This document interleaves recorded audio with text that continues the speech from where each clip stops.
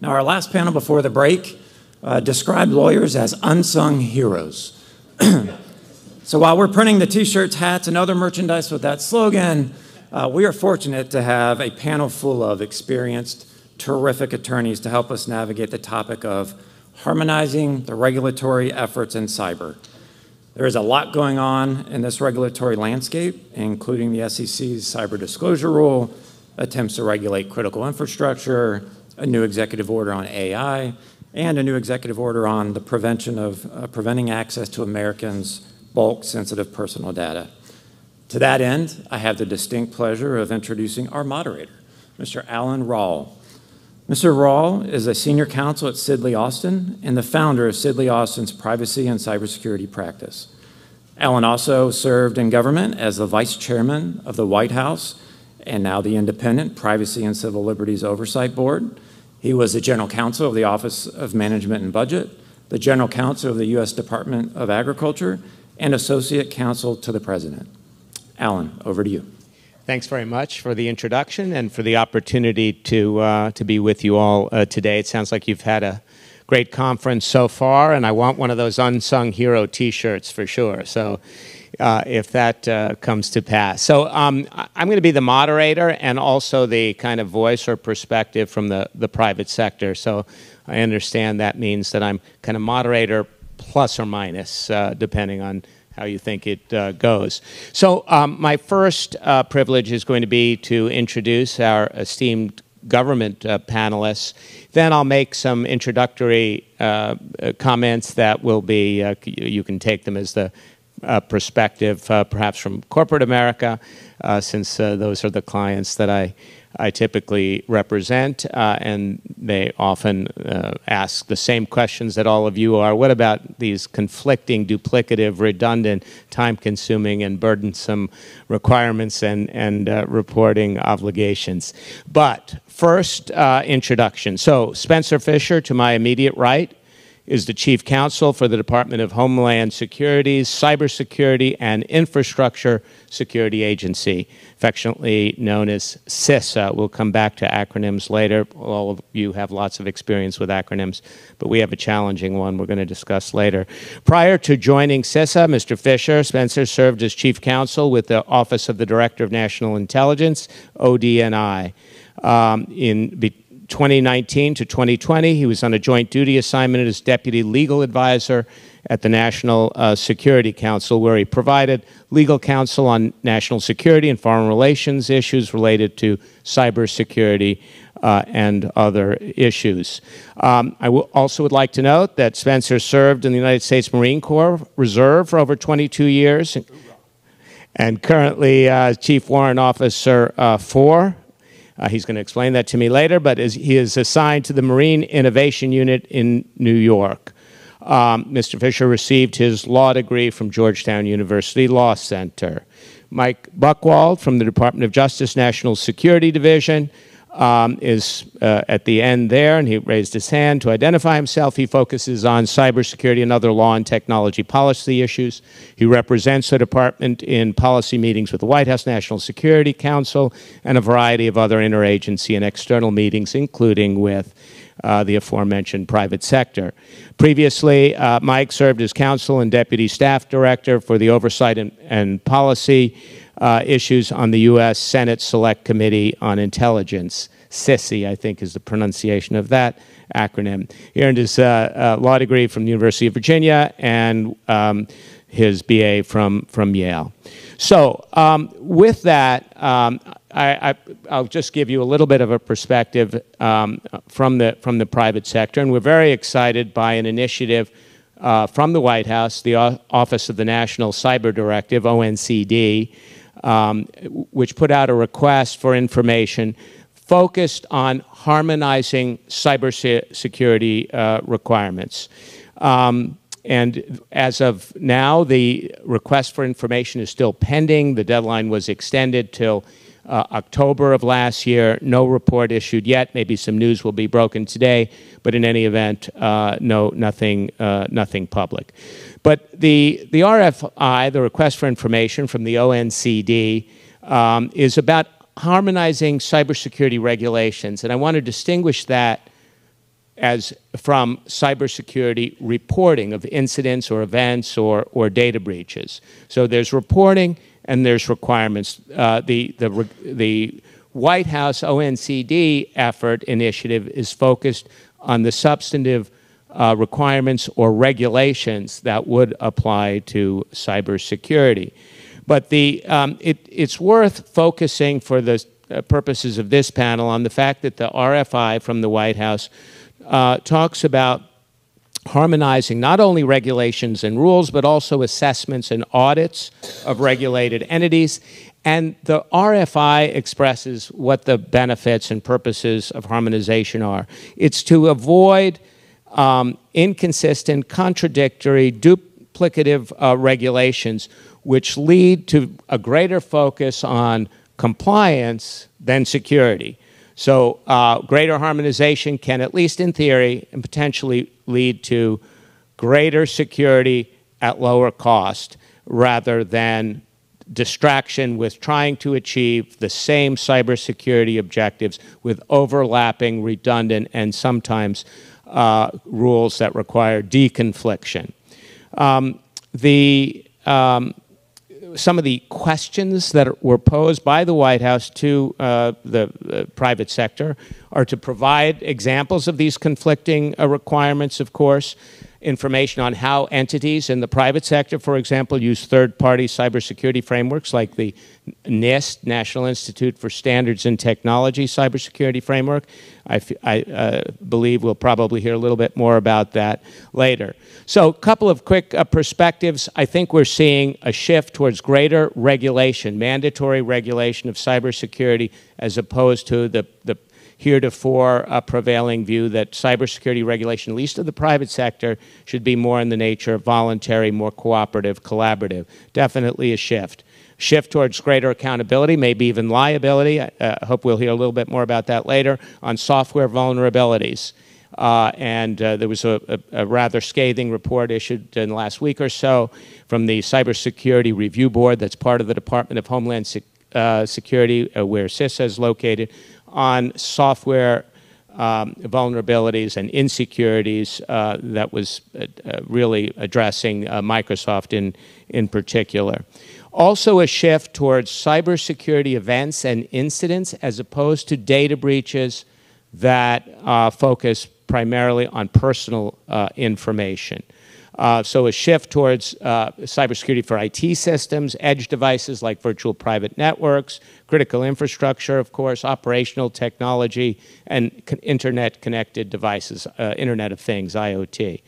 So again, looking at it from the, the private sector, what I see as uh, conflicts and, and uh, opportunities for beneficial harmonization for example, comparing the Federal Trade Commission, which is an enforcement agency that sues my clients, from the Federal Bureau of Investigation the Department of Justice, which treats my clients like victims, the victims that they are, the victims of cybersecurity criminals or uh, uh, state-sponsored um, activities.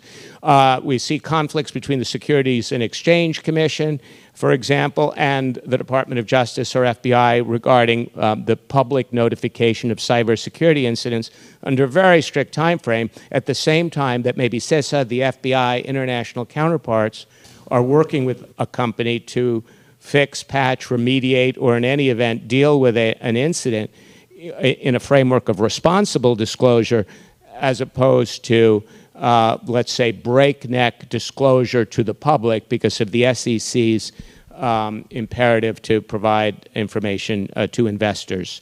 Uh, we see different conflicts as, as approach to cyber disclosures from the banking agencies, for example, uh, versus the Securities and Exchange Commission again. Also, U.S., uh, e Europe, EU, the US, uh, GDPR, the General Data Protection Regulation, very focused on privacy uh, breaches, as you might imagine. So with that uh, perspective, let me uh, turn to um, Spencer Fisher from CISA, and maybe you could start out just explaining CISA's overall responsibility, who your counterparts are that uh, some in the audience will be most interested in at the Department of Defense uh, and elsewhere.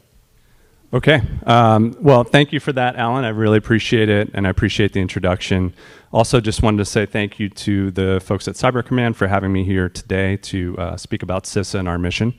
Um, I have tuned into this many times virtually, but have never actually been here in person, so I'm happy to be here. Um, and I, I, I know the, the way it works virtually, so I will try to grab your attention because I know the people that are tuning in virtually are simultaneously multitasking, doing many other things, possibly still eating lunch. You will listen to me. Um, so CISA's cybersecurity mission really falls into general categories. So one is the protection of the federal civilian executive branch network. Two, assisting non-federal entities, especially those involved in critical infrastructure, protect their networks. Um, so at a very high level, those are our, uh, that is our mission in this space. On the FSEB, so the FCEB, which is the, the acronym for Federal Civilian Executive Branch, if you're not uh, tracking that acronym, I'm happy to add a new one to your toolkit. Um, that derives from uh, FISMA, so Federal Information Security Modernization Act of 2014. Under FISMA, agency heads are responsible for the protection of their own networks, but the Secretary of DHS is responsible for administering the implementation of agency information security policies and practices. FISMA specifically excludes national security systems. So, Alan, you mentioned um, you know folks that we work with. So, under the DHS Secretary's responsibilities, um, NSS is, is excluded. Uh, and those are systems which involve intelligence activities or military capabilities, so kind of like the world uh, I came from before uh, going to CISA. FISMA provides that the DNI, uh, the Director of National Intelligence, and the Secretary of Defense have authority equivalent to CISA for NSS. So that's the basic uh, breakdown uh, between the FCEB and then the subcomponent of the NSS. So FISMA additionally provides CISA with the authority to issue binding operational directives and emergency directives. Folks in the room and, and virtually may have seen those um, that are binding on FCEB agencies. Um, and DoD has a similar process uh, that they've established under a national security memorandum. Um, so how that works. So CISA and DoD, in consultation with OMB, established procedures for DoD and CISA to immediately share with each other um, incident response orders or emergency directives or binding operational directives, EDs and BODs, uh, applying to their respective information networks. So I know we're here to talk about uh, information sharing. We're here to talk about harmonization. So that's one example of how things are harmonized, in fact. So that information automatically is shared. The receiving agency is then required to evaluate whether to adopt any of the guidance contained in that order or directive issued by the other department, consistent with regulations concerning the sharing of classified information. Um, and we've worked, so we've, CISA have worked collaboratively to develop these procedures and regularly engage in this process um, with departments that work to carry out their respective missions to protect the FCEB and Department of Defense networks. So um, I can go in further into detail about the defense industrial base and some of those issues if you'd like, or we can stop there and move to different questions. Sure. And, and again, that we're going to leave time for questions from the audience. So if you do want to talk about some of these topics in greater detail or topics that uh, we, we've uh, tried to avoid, and therefore you want to elicit from us through a hostile question from the audience, uh, we'll try to ignore you as well. No, maybe we'll consider responding. Uh, but uh, thanks for that, uh, Spencer. Um, turning to the, the, the substantive frameworks that where some of the requirements, uh, be they uh, mandatory or perhaps suggested, but there are various legislative and risk management frameworks for, for cybersecurity.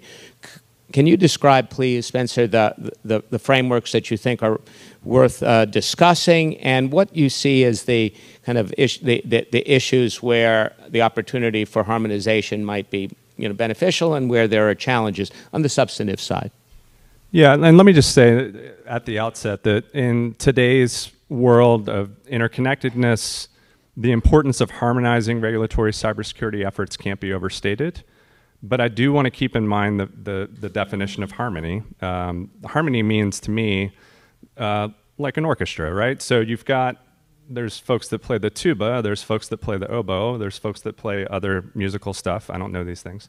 Director Easterly plays the guitar, but I don't, I don't personally have any musical talent.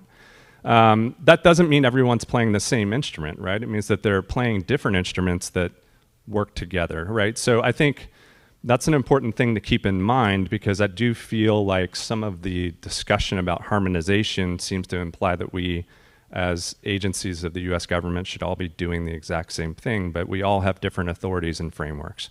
So I'll speak to you a little bit about um, some of those frameworks. Um, and no doubt that we should both formally and informally coordinate. Um, I've been part of, and I know Alan, you've been part of formal coordination networks uh, that happen at the National Security Council and that happen at the Office of Management and Budget. There's a lot of informal coordination that happens among agencies as well, uh, and that's equally, if not more important sometimes. Um, but an overall comment, I'll, I'll, drill down a little bit on cyber risk management. So, at a general level, risk management framework allows organizations to assess the risk to their IT systems and then allows organizations to apply controls, safeguards, and achieve a level of protection that organizations believe is commensurate with the risk level. So there are provisions of FISMA, the NIST, uh, as Alan mentioned at the outset, um, um, cybersecurity framework, um, CPGs, so CISA's cyber performance goals. Um, but these, and, and going back to my harmony point, these frameworks are designed for different audiences and different risk tolerances. So these should be thought of as a continuum of approaches where FISMA contemplates specific controls and safeguards in response to levels of data and system sensitivity, the CSS, CSF, I'm sorry, emphasizes risk profiles and allows implementing organizations latitude to apply their, old, their own controls. And the CPGs focus on implementing a set of controls and safeguards that address a baseline level of risk and they're voluntary, right? So all of these things working together, again, going back to the, the harmonization point, we've got different instruments that are playing different tunes, but they are working together in a continuum. Um, I can go into more detail if you'd like about the OMB uh, and FISMA, the NIST cybersecurity framework, CPGs, uh, but I'll leave it there for now. Okay, maybe we can uh, come back to, to the detail as the audience uh, may be interested. Um, but I, I, I, really do want to emphasize the point for, uh, for our audience here that while there's a lot of commonality, there's no shortage of the different substantive standards that Spencer was, uh, was, was referring to. There are lots of great requirements out there, but uh, while harmonization would seem to be kind of a no-brainer, the fact is very much as, as you said, that the diff different agencies have different missions, uh, you know, in addition to different sensitivities and risk tolerances, but literally different missions. Uh, and because of that, well, there's this, there's this perception that because technology is kind of a general subject and cybersecurity is relevant to all technology, that cybersecurity can be readily harmonized and all of the differences can be uh, you know, suppressed or submerged, but I don't know that we're ever going to get there. But maybe we can try to before the end of the, our panel today. Mike, let me, let me turn over to you. If you, would you describe, please, uh, at the Department of Justice, what, what, what are the roles on cyber uh, for the National Security Division and your other counterpart uh, uh, units or, or agencies within the Department of Justice? Yeah, thanks, Alan, and um, thanks for the introduction and the invitation from uh, Cyber Command to come down and speak. I too uh, have have dialed in in years past uh, virtually and was watching yesterday. So, uh, thanks to the organizers for planning such a great conference. Um, at the National Security Division, we're focused on what I call the big four cyber uh, actors, and it's mostly mostly the nation state um, malicious cyber actors that you're all familiar with Russia, China, North Korea, Iran. Uh, and then there's also some um, cyber activity from terrorist groups that our prosecutors uh, go after. And um, the criminal division is separately focused on um, cyber criminal actors around the world and have brought those cases for decades now. National Security Division is um, uh, newer, and uh, recently we stood up a um, national security cyber section that puts all those prosecutors together in one place to focus on those uh, nation state actors.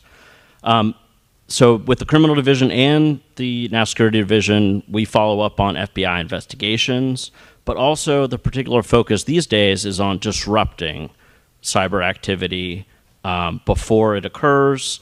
Um, because we have a, a, focus on victims uh, in the United States and protecting those victims before their businesses are hit with ransomware, before critical infrastructure is taken down, et cetera. Um, so that's that's our focus. Um, I work in a policy office uh, that's focused a lot on these regulatory issues, and Alan mentioned the SEC new uh, cyber incident reporting rule, for example. and he referred to the fact that there's a specific national security and public safety delay uh, that allows uh, businesses to come to DOJ and ask for time uh, before they have to disclose th- these incidents publicly uh, to their investors. The idea there is to make sure that systems can be um, as secure as possible before the bad guys know about these uh, disclosures as well, whether their um, malicious activity has been successful or whether they can perhaps um, take a vulnerability uh, that's disclosed publicly and uh, that they didn't know about and use it to their advantage. Um, so we're really focused on um, you know investigations, prosecution, but also disruptions these days in partnership with you all at uh, Cyber Command and other departments and agencies, and getting the word out through um, with our CISA partners to the private sector. I also want to put a plug in though for the um, civil division at DOJ uh, which has an initiative called the Cyber Civil Fraud Initiative. And it's relatively new. It was announced during this uh, administration by the Deputy Attorney General uh, to focus on those companies that contract with the government when they do not adhere to the cybersecurity obligations uh, and they develop things such as insecure websites um, and other products that the government is spending a lot of money on, as you know. And so they should be held accountable if they are putting insecure products out uh, into the marketplace. So I, I, I, made a note to talk about some um, specific examples. I'll limit it to one, but um, this one struck me as a particularly good uh, example, which was a company called Jelly Bean Communications Design. Uh, they were uh, contracted with the state of Florida because Florida receives uh, federal uh, health insurance money and they were supposed to develop a website uh, called healthykids.org, and uh, they failed to secure personal information on this website, and it had to be shut down. So uh, DOJ reached a settlement in March of uh, 2023 with the company. Uh, they admitted that they failed to properly maintain, patch, and update software systems. Um, and so that's an example of where you know DOJ doesn't get into the regulatory world that we're talking about on this panel, but there is an enforcement mechanism that we're using more and more to try to maintain those minimum cybersecurity standards and make sure that companies live up to any contractual obligations. From the standpoint of the uh, private sector and companies that do business as contractors with the, the federal government, the uh, possibility of being uh, investigated for a contractual violation that could be considered uh, a, a, matter of defrauding the government is really uh, kind of a, the in terrorem effect of possible liability, either civil, there's criminal uh, dimension to False Claims Act, and, the, and but the, the current initiative, I believe, is a civil cyber fraud. But there are, you know, potential criminal penalties and the possibility that failing to provide to the government the contract, the cybersecurity commitments that are promised in accordance with the contract would be just a hellacious risk. That's the, the legal term uh, for for a company, and would be taken really. it is a way to boost compliance. Uh, I'll certainly uh, I, add that. Uh, I'm going to adopt that in my lexicon clients, uh, you are taking a hellacious risk. Hellacious risk, absolutely. Well, let me turn let me turn back to you, if I may, then, Spencer. Um, so, one of the most intractable and difficult uh, harmonization problems that we're going to solve in a minute here. There's a statute that was uh, enacted by Congress in, in 2022, the Cyber Incident Reporting for Critical Infrastructure Act, CIR, CIA. Um, Spencer, firstly, can you tell us, and as part of explaining what your harmonization mandate is and what the DHS report is all about uh, regarding that, how do you pronounce the acronym? Good question. Very good question. My folks are working on a memo on this, but we are hard on the CIRCIA uh, pronunciation. You will hear CIRCIA. I've heard CERCIA. And, we're, uh, we're very. the director, the director would pronounce it how, Mr. Uh, Fisher? I'm not going to speak for the director. I will only say that she disagrees with me. okay, all right. So uh, already we've had a failure of harmonization. But tell us about the the mandate that. uh, that you that you have under the, the, the statute, which you'll pronounce CERCIA. Yep. It's correctly pronounced CERCIA, but okay. Um, uh, how uh, so? Tell us about the mandate, the DHS report, and and Yeah, what, what, where that all stands. Sure. Um, so the the mandate really, you know, I was thinking about this. I knew that we were going to talk about it. Obviously, I mean, the the mandate itself is really uh, Congress intending to reduce duplicate reporting in this space, right? So we have critical infrastructure reporting. The the intention by uh, uh, you know the congressional folks at the time was to reduce um, uh, duplication and, and actually, as we get back to the harmonization point, create harmonization with regard to critical infrastructure. So the enactment of CERCIA marked an important milestone um, in improving cybersecurity. It requires CISA to develop and implement regulations requiring covered entities to report covered cyber incidents and ransomware payments to CISA. These reports will allow CISA to rapidly deploy resources and render assistance to victims suffering attacks, analyze incoming reporting across sectors to spot trends, and quickly share that information with network defenders and warn potential victims. So, to address the potential for duplication um, uh, from from other cyber incident reporting regimes, Cer- uh, I almost you almost got me. CERCIA um, established, uh, you know, one thing it established is the CIRC. I don't think there's any dispute about the CIRC, CIRC, uh, and that is the Cyber Incident Reporting Council. So the CIRC is responsible for coordinating, deconflicting, and harmonizing federal incident reporting requirements, including those issued through regulations. Um, CISA act- actively participated in the CIRC's processes to help identify potential approaches to harmonizing federal cyber incident reporting requirements and supported the identification of best practices um, that could be considered by CISA and other federal, federal departments and agencies as they develop or update cyber incident reporting regimes.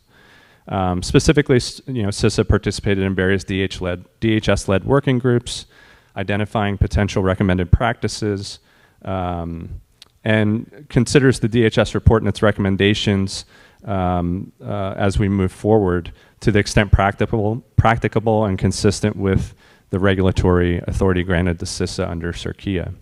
Um, so we're, we're working with the, the CIRC, also working to implement with our other uh, federal entities. Um, I can speak a bit more about CERCIA if you'd like um, in more detail, but um, I'll, I'll, I'll do right, well, my maybe we, we can. yeah, I'll do my disclaimer is just that the the CERCIA NPRM, so Notice of Proposed, proposed Rulemaking, uh, very recently went uh, out on the street, as it were. Um, so I'm not in a position um, to answer substantive questions about CERCIA, but I'm happy to talk at a high level. Um, we do encourage folks that have comments or questions to submit them through appropriate channels, regulations.gov, um, uh, following the instructions that are laid out in the NPRM. But the, the most important thing, I think, is that I, I recommend everyone here read the NPRM. Um, it, is, uh, it is weighty.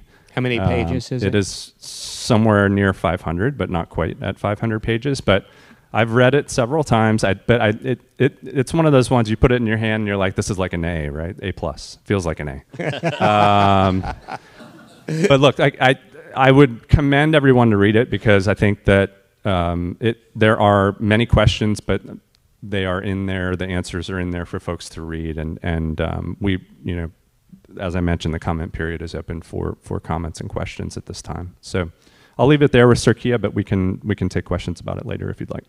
the um, um, uh, the uh, what was I going to say? So I think we've we, we haven't quite got the the acronym uh, resolved, um, but the other report that I would also commend to your attention is the the Department of Homeland Security's harmonization report. Even if you're not just interested, The CIRC report that I mentioned, yeah. Yeah. Yep, yep. Even if you're not interested in the harmonization question specifically, the annexes in particular for any cybersecurity practitioner are very useful in providing an inventory or catalog of different cybersecurity uh, uh, statutes and regulations in, I'm not sure how many agencies it is, Yeah, quite a few. Quite a few. And and that one's going to bring you into about 60 pages. So if you're looking for a little lighter, a little lighter read. The lighter people- weekend reading, the Circ report. Yeah, our audience that's participating virtually has already started reading the 500 pages of the NPRM in lieu of listening to Let me know when you're done. Pencils good, down. So good job there in turning them on to a really exciting uh, NPRM. Let me turn uh, back over uh, to, to Mike. Um, the, you know, we know that the White House National Cybersecurity Strategy and the implementation plan also focuses on uh, harmonization um, of, of cybersecurity regulations. We mentioned earlier the ONCD report on uh, harmonization, the RFI. Uh, that's pending. What are the interagency processes that, that the Department of Justice participates in these issues? Yeah, I went back and looked at where we are in this process. Um, and Alan, that was a great introduction. I think you provided everyone on kind of where we currently are on looking at this challenge of how to harmonize uh, all the regulation out there.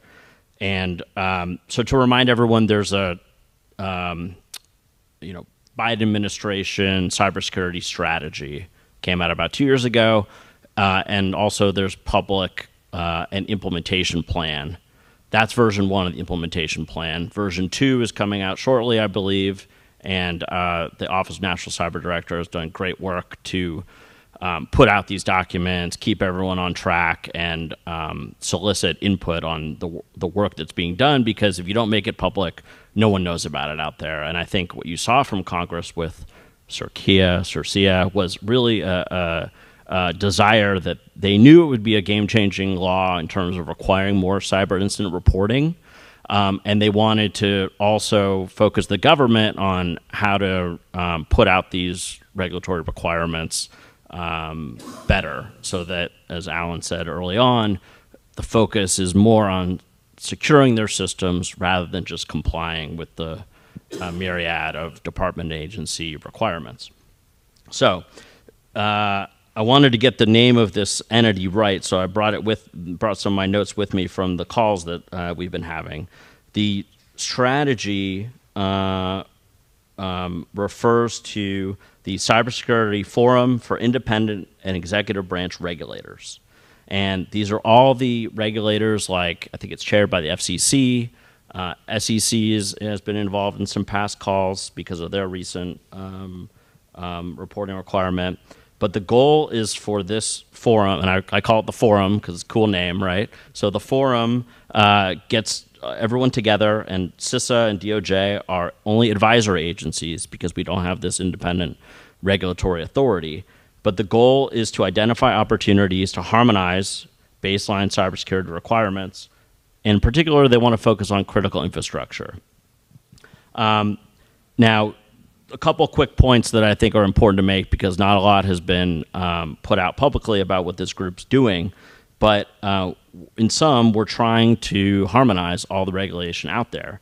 And it starts with one, there's a, a growing body of regulatory um, um, law and process out there, the SEC rule, for example.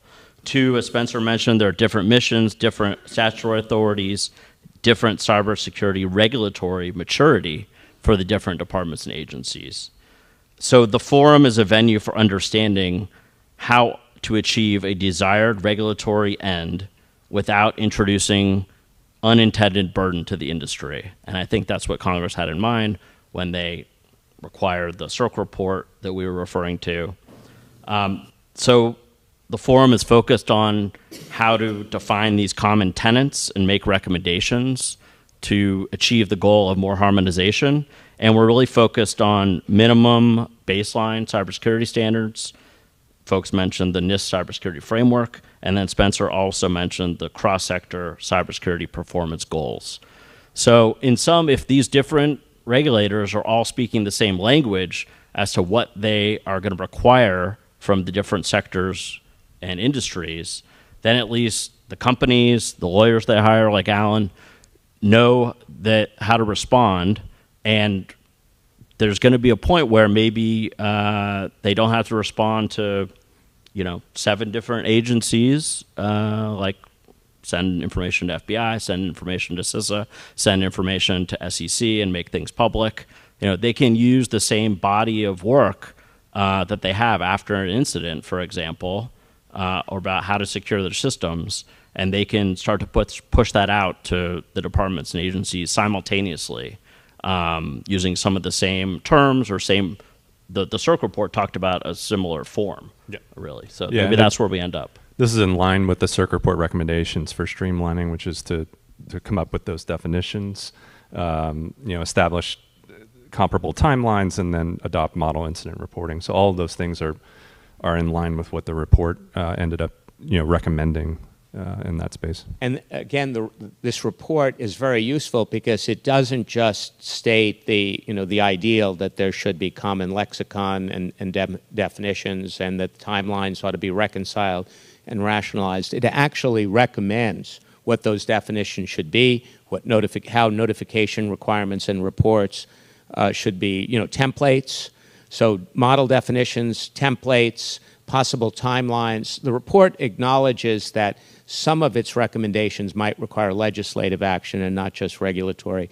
Picking up on what Mike said about this forum that you participate in, it's um, in my experience at least, it's it's uh, fairly unusual that you get a body in the ex- executive branch uh, on a regulatory uh, footing that includes the independent agencies like the Federal Trade Commission, the Securities and Exchange Commission, uh, the, the, the Consumer Financial Protection Bureau, and so on, that have authorities that overlap with standard executive branch agencies like the Department of the Treasury, Department of Homeland Security, uh, and so on. So getting the independent uh, agencies involved is actually in and of itself a harmonizing achievement because typically they see themselves, you know, they're independent, they're part of the executive branch, Article 2 of the Constitution, but in fact they don't view themselves as directly under the supervision of uh, you know, the White House and Office of Management and Budget. So that in of itself is a, a positive development. I'm not going to uh, go to questions from the audience just yet, but if you, if you have a question, just raise your hand now so I can gauge how many questions there are so we leave enough time. So n- n- not that many. Okay, They're, uh, they're I still reading the uh, still reading the Circia report. Well, they'll come back to us about the foot questions on the footnotes in the 500-page NPRM. So, all right. So we can go uh, a, a, little uh, longer, but if you do have questions, uh, feel free to ask them. I, I only see a couple uh, right now, and Uh, I'll let, come back. let me add a quick point on the what you mentioned about just the those independent regulatory um, bodies getting together as an achievement. That's good to hear because um, you know I, I see it that way, um, and in particular the CIRC report that Spencer mentioned. That 33 departments and agencies contributed to that report. So uh, that's an achievement also to to have that many departments and agencies come up with some of the uh, recommendations together in a pretty concise uh, report for, for the subject matter. But I think what's driving a lot of this um, behind the scenes is that we all know cybersecurity standards are incredibly complex, and the overall goal of the government is to get compliance with them and to be able to share information about these incidents. And so we know that it's incredibly difficult for the private sector, and um, certainly at DOJ, we think about it in terms of when you're victimized. You know, you don't want to have the next call from the government be you know 30 different agencies all requiring information from you.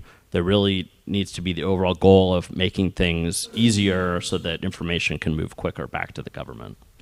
Great, thanks, Mike. Um, uh, Spencer, let me ask you this, and Mike, if you'd like to comment on on the harmonization front. Are there are there any relevant distinctions that we would have in mind when the threat actor you're trying to protect against uh, is is a nation state as opposed to when it's a, a you know a criminal organization? Um, look, I think in either case, you know, defending the, the nation against what are evolving cyber threats and attacks is is really essential, and it's at the core of CISA's mission. Um, we offer advisories, alerts, tools, resources, um, you know, all kinds of services and guidance on best practices to help network defenders and critical infrastructure implement preventative measures, manage cyber risks. Um, but the threat is is real, right? And and I come from a place where I looked at the threat quite a bit, and there are nation states and sophisticated, sophisticated cyber actors that are looking to steal information, money, and developing capabilities to destroy, disrupt, and threaten the delivery of uh, essential services. So, defending against that is uh, is essential to maintaining the nation's security. It's it's part of the reason I wanted to work at CISA. Um, and any cyber attack, whether it comes from a nation state or whether it comes from uh, private actor, is uh, a threat to national security and must be identified, managed, and shut down. Um, so, cyberspace is, as Mike mentioned, particularly difficult to secure. Um, and there's an ability for malicious cyber actors to work from throughout the world um, there are linkages between cyber systems and physical systems, as we know, um, in, in the water sector and others.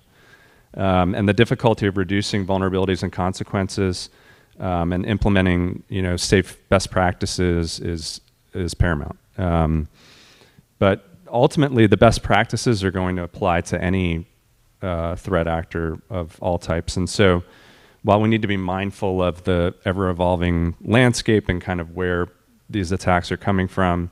Um, the requirements need to be uh, evergreen in that regard, and, and they need to be uh, tailored so that we're mitigating the risk from whatever source. So, Alan, let me make a quick plug here that um, originally our chief of staff, Brett Freeman, was scheduled to speak, and a reason he, he wasn't able to come down because negotiations are ongoing with FISA 702 so as we talk about the threat from nation state cyber actors, um, it's you know readily apparent that FISA 702 is an indispensable tool to develop the intelligence and lead toward the disruptions that we all need uh, to keep our country safe. So I wanted to make sure to put that that plug in um, to both explain why I ended up as your speaker, but also um, on the importance of 702 currently being negotiated. Well, we're glad you're here, but also uh, hoping that 702 will. Uh, yield ultimately a compromise. It sort of looks like it's heading in that direction. The editorials in all the newspapers today are very. Uh, we, we hope so. Here, here. Yeah. Uh, definitely an important uh, legal authority, critical legal authority, uh, honestly. Um, so we have a number of other questions that we can address here, but uh, I think what I will do is go to the. I know there's one over here. If there are others, we'll take it, and then we can go back to our, our planned questions if there are no others. Go ahead, sir. Yeah, thank you. Um, first and foremost, uh, Spencer, um, there are other ways to solve insomnia than reading the 500 page. am, am, I working for you? Multiple times, multiple times. It must not be working. But so um, I'm, I'm with Boise State University, and uh, I, am a 30 year practitioner. And one of the things that I would be really interested in understanding would be your perspective within the forum or individually not necessarily the harmonizing of the regulatory effort from an incident reporting perspective, but actually on the front end, the protection, the detection, the monitoring piece. Um, in terms of the impact to, in, and, and specifically for this audience, because I suspect there are a number of people from procurement here, just as well as on the legal side, the impact of the CMMC, the impact uh, to the DIB of the CMM, CMMC, and other regulatory efforts placed upon industry from other entities. Do you see within these conversations the harmonizing of the actual control efforts and the type of, not just the reporting, but the actual control efforts so that, that the impact, especially to the SMB space within the DIB, it's minimized? Because that seems to be the, the major challenge that I've seen from my, my vantage point within the university ecosystem, working with the DIB itself. Is That that's for me. Yeah. Okay. Um, yeah, I mean, so on the on the FAR piece, and I, I can't speak as much about the CMMC. Um, familiar, but not a not an expert. Um, and while DHS and CISA are not members of the FAR Council, CISA actively participates in the FAR Council and provides subject matter expertise. Um, the DFARS contains extensive cybersecurity requirements, uh, including the CMMC. Um, and CISA, I can point to a couple things that, that we've worked on. I mean, we've worked with the FAR Council on rulemaking efforts. This came out of the Cybersecurity EO 14028, um, providing initial recommendations for contract language. Um, and uh, the comment period for that recently closed.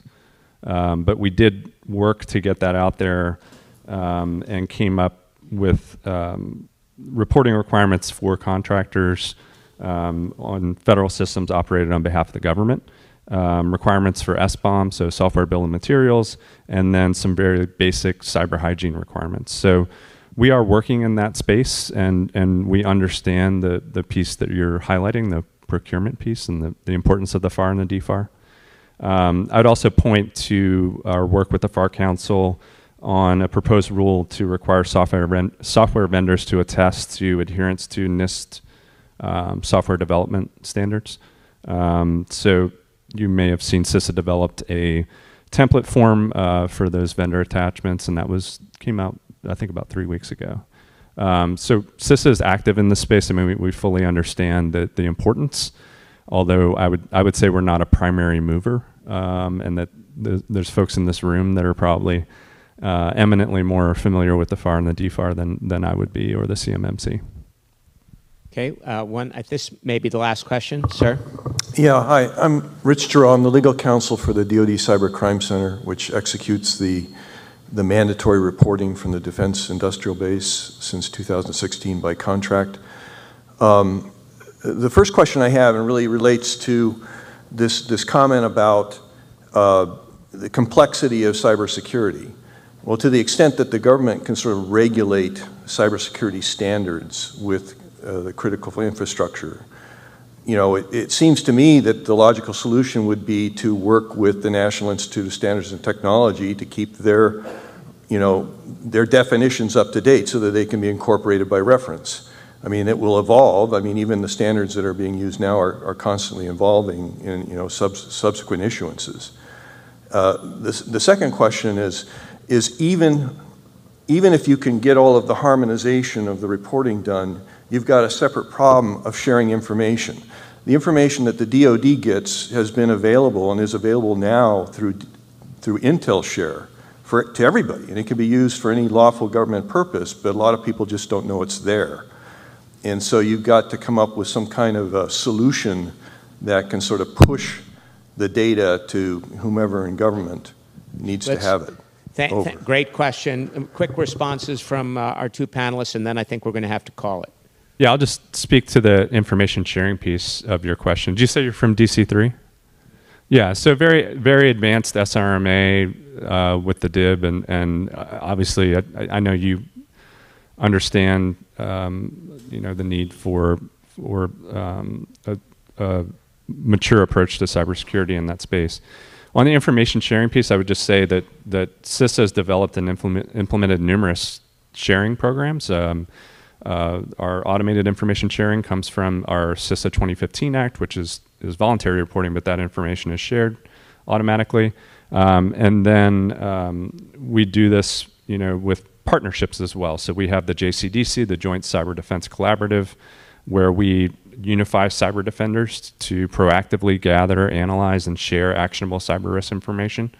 Um, and we encourage, uh, and we, I'm always prompted to do this, encourage folks to to work with uh, information sharing processes and form relationships with our uh, uh, folks at CISA and within our regional offices throughout the country. We have 10 different regional offices throughout the country. Uh, but take the point on information sharing, it's near and dear to my heart. Uh, I worked on uh, collection, retention, and dissemination for a very good part of my legal career, and I, I think that it, it is all vital and has to be done the right way, obviously. That's why we're here. That's why I have a chief counsel's office at CISA. That's why uh, partly why we exist. Um, but but take the point, and I would just say we are we are working those processes uh, at CISA and fully appreciate the the point of your question.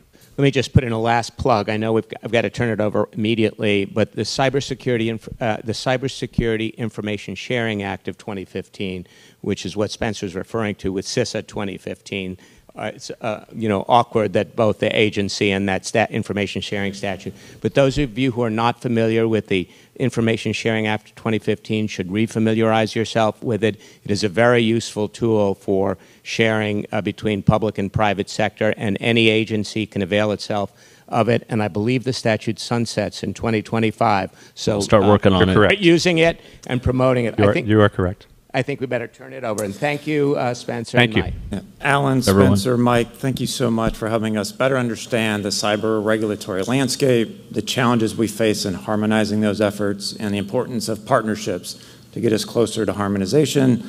Uh, on a less serious note, this panel perfectly demonstrates the necessity of public private partnership in cataloging and understanding government acronyms, and how do we avoid hellacious legal risk. So, gentlemen, thank you. You managed to turn a panel on regulation into something both informative and entertaining. A plus. So, please join me in a round of applause. And we are on break until 2:35 Eastern Standard Time. The Cyber National Mission Force, or CNMF, is a joint command available to U.S. Cyber Command to respond to its toughest challenges. 2024 marks the 10 year anniversary of the CNMF. U.S. Cyber Command established CNMF in 2014, recognizing the need for a force agile enough to respond to any crisis at any time, composed of highly trained and qualified cyber operators drawn from across the services. Today, the CNMF is composed of 39 joint cyber teams organized across six task forces consisting of soldiers, sailors, airmen, Marines, Coast Guardmen, Guardians, and NSA, Air Force, and DIA civilians. CNMF's mission is to plan, direct, and synchronize full spectrum cyberspace operations to deter, disrupt, and if necessary, defeat adversary cyber and malign influence actors. The CNMF conducts the full spectrum of cyberspace operations, consisting of offensive, defensive, and information operations. CNMF supports U.S. Cyber Command and national priorities such as election defense, counter ransomware, global cyber security threat hunt operations, and other operations of national importance. CNMF works closely with other partners in the U.S. government. The CNMF routinely works with the FBI, DHS, NSA, and others to defend the nation. These partnerships are critical for this vital mission to defend the homeland. Each agency possesses differing authorities and capabilities. The ability to quickly share information to leverage the proper authorities at the appropriate time secures the nation and keeps our adversaries off guard, engaging them as far forward in cyberspace outside the United States. The CNMF is on the cutting edge of legal operations in the cyber domain. Since its inception, CNMF continues to drive the evolution of cyber operations. There has never been a better time to join the CNMF legal team. The Office of the Staff Judge Advocate, or OSJA, conducts the full range of legal operations, primarily focused on operational law. However, the office continues to provide advice across the legal disciplines. Individuals that join the CNMF OSJA must have a strong background in fiscal law, administrative law, international law, military justice, legal assistance, and of course, operational law. The CNMF needs attorneys that are creative enough to link the various authorities together and present creative solutions to our clients. As a plank holder in the CNMF OSJA, you will have an opportunity to advise on unique and novel issues that have a direct impact on national events. There are few other organizations in the government where you will be exposed to the type of issues that we see on a daily basis. If you are a motivated legal professional that can work independently with little guidance, we would love for you to apply to become a member of the Cyber National Mission Force. Ladies and gentlemen, welcome back. We can't talk about the power of partnerships without involving our international partners. We just had a panel discussion about the efforts within the United States to harmonize the regulatory efforts. So let's hear from some of our international partners about the friction points within their country and hopefully success stories of their partnering efforts both within their country and with other countries. I get to uh, introduce Captain Promotable Ray Macias, who I work with on a daily basis. He serves as a legal advisor uh, in the Office of the Staff Judge Advocate with me in the Plans, Policy, and Partnerships Law Division. So, with that, Ray, I'll hand it off to you. All right. Thank you, ma'am. Uh, good afternoon, everybody, and welcome to our legal conference. It is such an honor and a pleasure to be joined here by this outstanding group of panelists and leaders from across the country who we are privileged to also call our partners. You know, it's, it's a little hard to imagine any single one of us entering into a partnership without knowing some key information about the other party. You know, for example, you know, what are their, what's their history? What's their reputation? What are their capabilities? What's their intent? Can, can we even trust one another?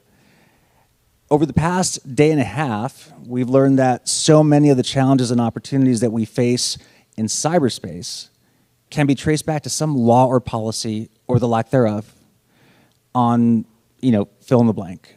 Um, while the bulk of our discussion has certainly approached these issues through a U.S. perspective, I assure you that this is not just a U.S. phenomenon. I think I can say with a fair degree of confidence that our international partners are having these exact same conversations back home. And so, uh, as we explore the power of partnerships, I think the question then becomes how well do we know our international partners' challenges in cyberspace and the domestic legal frameworks from which they're trying to resolve those issues? And perhaps more importantly, what can we as cyber and cybersecurity law attorneys do to help our organizations identify those legal endpoints as we explore international partnerships so that we can be more effective and efficient in achieving our shared goals?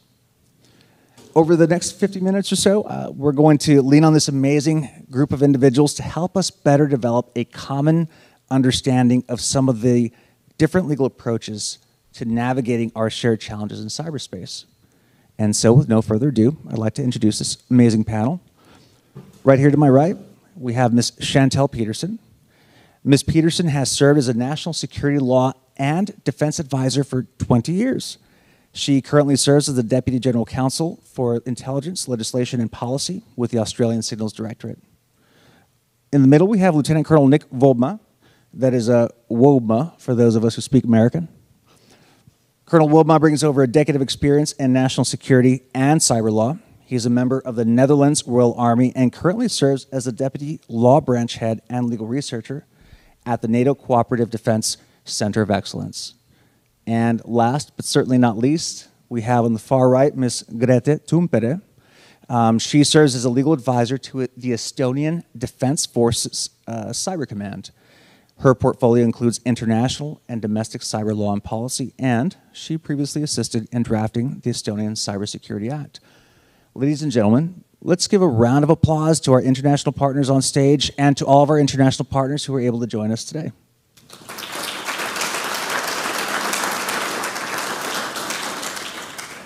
All right, so let's get to work. Um, this is an open question for all of our panel members, and that question is based on the following.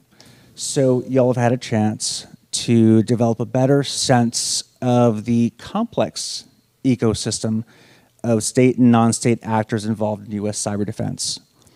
Who are some of the key national players in your countries? And in what ways are your national cyber defense legal authorities or frameworks different from ours here in the United States? Um, Ms. Peterson, would you like to kick us off? I might just start with two points. I'm attending the panel in my personal capacity, so please don't take what I say as representing either the Australian Signals Directorate or the Australian Government.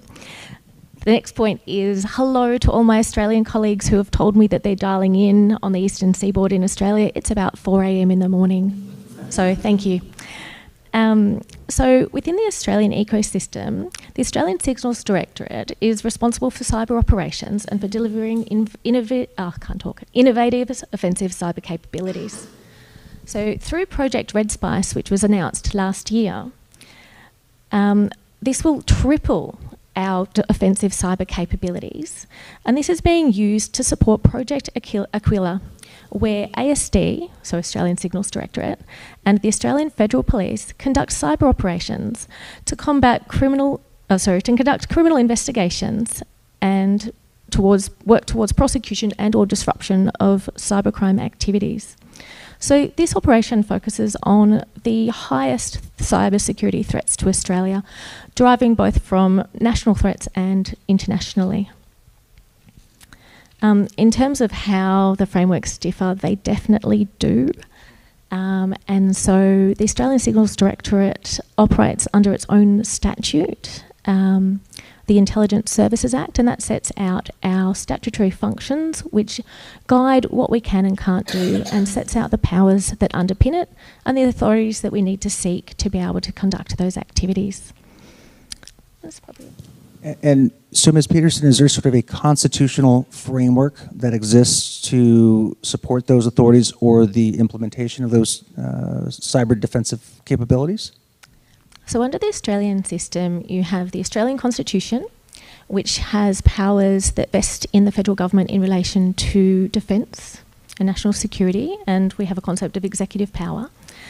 Um, and it's through the federal parliament that sets the legislation that gives us those powers to conduct the activities. Thank you very much. Anyone else? Shall I continue? So, um, hello everybody. Um, let me also start with a, a small disclaimer. Um, I'm here today as uh, representing the law branch of the Cyber Center of Excellence, NATO CCD COE. Um, I have worked at NATO as a legal advisor, and I have worked uh, as a Dutch uh, Cyber Command legal advisor.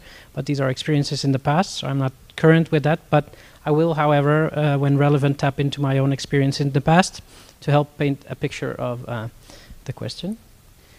So, um, about that picture, uh, in Holland, the Netherlands, we have um, so-called administrative leg uh, legality principle. So that means, in short, and this may sound similar to what you have, but um, uh, this means, in short, that every government organ is uh, has a legal basis upon which to build, a legal basis that tells them why are we here and what are the rules that govern us, this specific agency. So there are many agencies, and they all have their own specific task that is laid down in law, regulations, or the constitution. Um, on the other side is civilians, and by uh, extension also private companies. They can do basically anything as long as it's not forbidden by any regulation or law. So that's they operate all in a different way and have all their specific tasks, and that comes with challenges and opportunities, which we probably talk about later.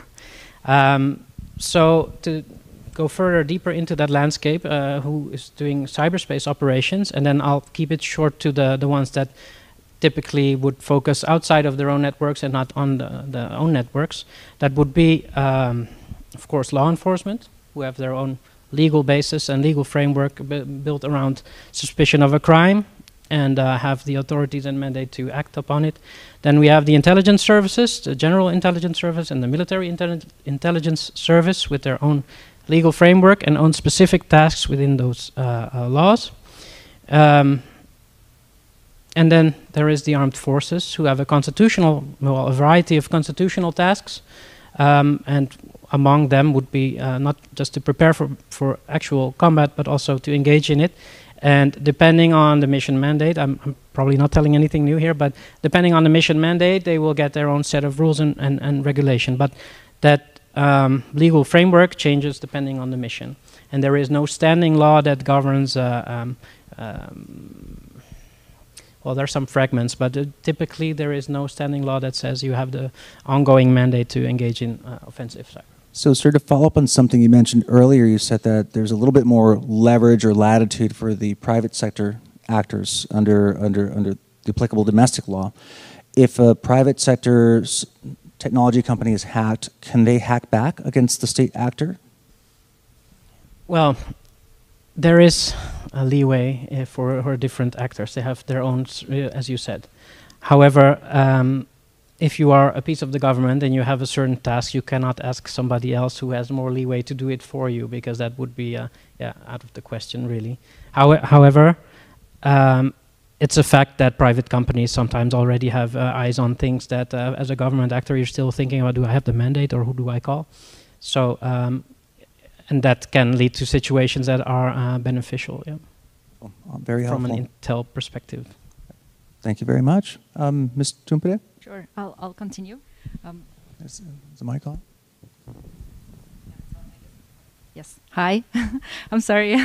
yeah, this is new for me. I feel like a pop star. So, uh, and I've I've never uh, been uh, live streamed before. So, hi, mom, and uh, all my fans out there.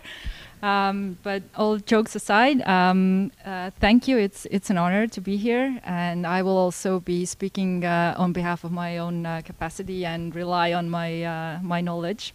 So, um, uh, turning to the question, then uh, Estonia is also um, um, similarly to the Netherlands. Uh, distinguishing civilian side and also the armed forces and military side uh, of of the networks that uh, and and the parameters they uh, they are allowed to engage in. So um, for the civilian sector. Um, uh, we have a separate cybersecurity act that uh, defines the roles, and also uh, we have distinguished vital services and essen- essential functions that um, have their own mandate and uh, fall, uh, fall under uh, the Civilian um, Information Security Authority, who will uh, conduct um, uh, the uh, cybersecurity part of it. And then, of course, there's the military side with their own cyber defense mandate. And and in addition, uh, since we are a very small uh, nation, only 1.3 million, then uh, we need to be clever uh, in um, organizing ourselves. Uh, so um, we have um, um, a separate uh, um, organization. Uh, it's still a public entity. Uh, and it's called the Defense League, uh, which means that it gathers together uh, various. Um, I personally like to like to call them defense enthusiasts. Uh, they uh, they use their free time and spare time to to uh, allocate themselves and uh, and commit to training and exercising. And that under that defense league, they also have a separate cyber defense unit, which uh, gathers together. Um, uh, various um, cyber security specialists that on a daily basis work in different companies or even in uh, public sector uh, and uh, on on their spare time uh, they uh, they exercise together and they are uh, part of our reserve. So in a way this is um, um, an effort to to reach out uh, and uh, and gather as much potential as we have because uh, we need to retain that uh, capability set we have. I, I- I really like that. I think it's it's so interesting for us. The follow-on question to that is: this volunteer group are they putting military uniforms on at any point, or are they completely in a civilian capacity? Mm, depends on the function and depends on the assignment. Um, uh, we do uh, exercises together and we do training together, um, and that uh, that unit also has uh, legal advisors in it. So uh, we are uh, collectively um, teaming up uh, i- at an upcoming exercise, actually, and um, they normally most of them are our own reserve uh, reservists, so they have uniform and they they are obliged to wear it when they are coming to the exercises. Uh, but that requires a formal request uh, beforehand, uh, and um, uh, they they still maintain also their civilian capacity as well, but um, in a way they still feel like they have more to give and contribute, and that's why they they have uh, formed this separate unit. Uh, Fascinating insights, and I appreciate you sharing that, which is actually a great segue to, to my next question for the group. Uh, also, an open question. And so, um, Ms. Tumpere, you mentioned something about how, how, how Estonia is bridging the gap between the private sector, you know, private sector actors to help support some of these larger challenges. The question for the group is, um, you know, in a few words, can you describe uh, some law and policy issues you're your nations are navigating to overcome some of those shared challenges, and how have you resolved them uh, to help bridge that gap? Um, anyone who's willing or interested to jump in, you're welcome to. Again, um, so talking about uh, obstacles and opportunities. Um, well, given the, the, the different legal bases that I talked about before, they also function as kind of walls between the various agencies, and um, that makes it sometimes hard to communicate. However, the opportunities also present themselves in the cooperation, um, and think of developing common capabilities. Think of um, we're all fishing in the same pond for uh, scarce cyber staff and uh, we want to make it interesting without stealing each other's personnel. Think about uh, gathering intel that can be useful for various operations under different mandates. So these are opportunities. However, as long as you have the walls, you don't know what the other is doing, and you may be inefficient or do things twice or three times or many times over. So I feel as legal advisors, first legal advisors, uh, we, we, we try to look for the doors within these walls and try to open them so that uh, communication can start. I heard the general say in the opening speech yesterday that you have LNOs at all the various agencies. I think that's that's wonderful and essential.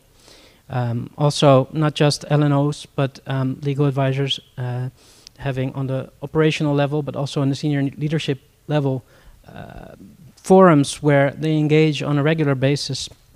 Um, also, having joint exercises or joint executions of that uh, what we are talking about, intel gathering, capability building, that kind of thing. That are all opportunities that work to more and lesser degree. There's been a lot of, you know, like bureaucratic hiccups along the way, um, but I'm happy to say that it is very much improving and that there are successful uh, joint things come out of that. So um, let me see. Um, yeah, that that's what I wanted to say. Very helpful. Uh, Ms. Peterson, would you like to share any insights? Absolutely. I might just talk first quickly about the relationship building that ASD is undertaking as part of its cybersecurity partnership program. So we run this pro sorry, ASD runs this program. It has three tiers of membership, the network partners, business partners and home partners. And those three levels of partnership have different levels of access to information. And the key focus is on network partners, where we share threat intelligence and engage in a range of other collaborative activities. Um, network partners include government agencies, private industry who uh, maintain IT security personnel and are able to act on threat intelligence. They include cybersecurity specialist businesses who are able and willing to share their specialist expertise on a not for profit basis with that partnership community, and also academia, research, and other non profit organisations who have that you know, keen interest and um, dedication to cybersecurity. Now, obviously, one of the challenges that has been spoken about on this conference is the willingness to share sensitive threat intelligence with industry and for industry to feel comfortable sharing information that might come close to their confidential business information. So, the network partnership program is underpinned by non disclosure agreements, which helps build that trust. Um, the partnership program has regular meetings, collaboration that's undertaken both virtually and in person through program offices that ASD runs in and across Australia. Um, so that was one of the challenges that we've experienced. And ASD has built up some really strong relationships with the private industry through this process. However, when it comes to cyber incident response, unsurprisingly, one of the first hurdles we faced was I'm sorry, I'm not allowed to talk to you. My lawyer said so. Um, because there was a real concern that if they were sharing at that critical moment information, that that information could then be passed on and used by regulatory or law enforcement agencies and escalate the legal liability that the company who's already suffered a cyber incident or a cyber attack uh, might be liable to. And so, under the Australian cybersecurity strategy, which was also released last year, one of the mechanisms that the Australian government is bringing forward is a legislative limited use obligation on ASD and also Australia's cybersecurity coordinator to help industry feel a level of trust that they can share that information quickly with government so that they can get the support in responding to the incident, you know, at the speed of relevance, not just at the speed of trust um, without it then being handed over rapidly to regulatory and law enforcement. Now, you would have heard the term safe harbour in one of the earlier sessions. This is not a safe harbour program. This does not provide them with absolute liability that may have arisen through their non compliance with their obligations. There is still the ability for regulators to use their powers of investigation and apply regulatory sanctions where sanctions are required. Um, so this is still in development, so I can't tell you exactly what it looks like, um, but it is one of those mechanisms that we're bringing forward to address obstacles to collaboration. You know, th- those are great insights, and, and you know, as we're talking about these issues, I'm hearing a number of parallels, but different ways of approaching and navigating those challenges. Um, Ms. Tumpere, I wanted to start with you on the next question because I think this is a good uh, way to transition. Uh, earlier this morning, we heard uh, Director Coker talking about developing norms of cyber behavior. Okay, so Estonia has a unique relationship with its private sector and its its uh, general population. You're a smaller country, and so you were saying we have to find innovative ways of, of preparing ourselves for for the worst, right? And so the question is, um, what um, how how do you how does your country or how do your all's countries approach uh, reinforcing norms of responsible state cyber conduct by and through private parties or private sector partners? Well, that's um, that's that's an interesting um, uh, approach. Uh, if uh, if we are thinking through the private mm, companies, then. Mm, overall, I would say that uh, we are very uh, digital and uh, also highly dependent on it, uh, meaning uh, most of our public services are uh, available to available online, except for two. You cannot um, marry online and and register person's death online. other other services are all um, available online. So, which means that uh, private uh, companies are facilitating those services because, um, uh, well, this is the the most essential partnership aspect uh, that uh, where the private companies are stepping in, because well. Although those are public services, they still run on uh, the private um, in, networks and, and, and infrastructure that still allows the, the services to run. And um, when thinking about norms, um, from an international law perspective, then uh, norms uh, are not so much uh, implemented on the private uh, private partners or private companies, uh, rather than um, uh, thinking of public attribution for ongoing attacks or, or conducted operations already. So uh, this is one of the aspects where uh, where the reinforcement or enforcing uh, can uh, can be seen. But from um, uh, from organizing public-private partnerships and also enhancing that, then uh, I would say that it's um, it's not so much regulated on a legal basis rather than it's it still comes down to the tactical level where uh, the information is exchanged and, and also incidents are quickly responded and uh, the necessary assistance is also given uh, through various uh, partners and, uh, and players on the field. Very helpful. Um, sir, ma'am, and any thoughts on, on how, how, how you all handle uh, reinforcing norms of responsible state cyber conduct?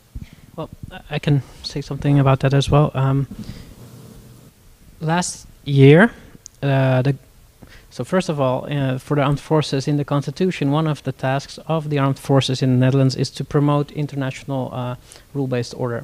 So um, that's also one of the things we focus on, generally speaking. Um, but more broader, the Netherlands last year had, uh, together with the Republic of South Korea, uh, a REAIM. So that was a responsible artificial intelligence uh, in the military domain conference. There will be a follow-up this year in Korea, um, which tries to engage with key actors uh, in, in, in order to uh, develop norms, uh, including the private sector.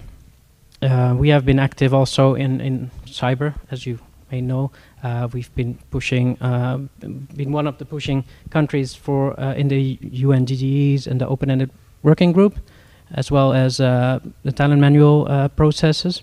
So for us, it is very important. So, under our cybersecurity strategy, one of our actions is to shape, uphold, and defend international cyber rules, norms, and standards. This includes actively participating in international forums and assisting our regional partners to build capabilities to counter cybercrime and also have a voice and participate in those forums. Um, great insights, everybody, and appreciate you sharing those thoughts. Um, I want to touch base and, in try and do a little bit of a compare and contrast of another challenge that we identified earlier today, and that's that's the issue of talent management. And, and here in the United States, as you heard uh, Director Coker mention, um, we're trying to find innovative ways of, of building up our national cybersecurity workforce. Um, how are your countries navigating this problem? Is this even a problem for you all? Um, and, and if so, what are the creative solutions that you all have come up with? Well, it's certainly a problem that's shared world round.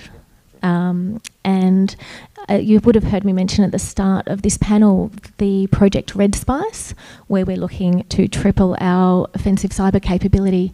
We're also building our workforce and aim to have at least 40% of our workforce outside of our nation's capital spread around Australia.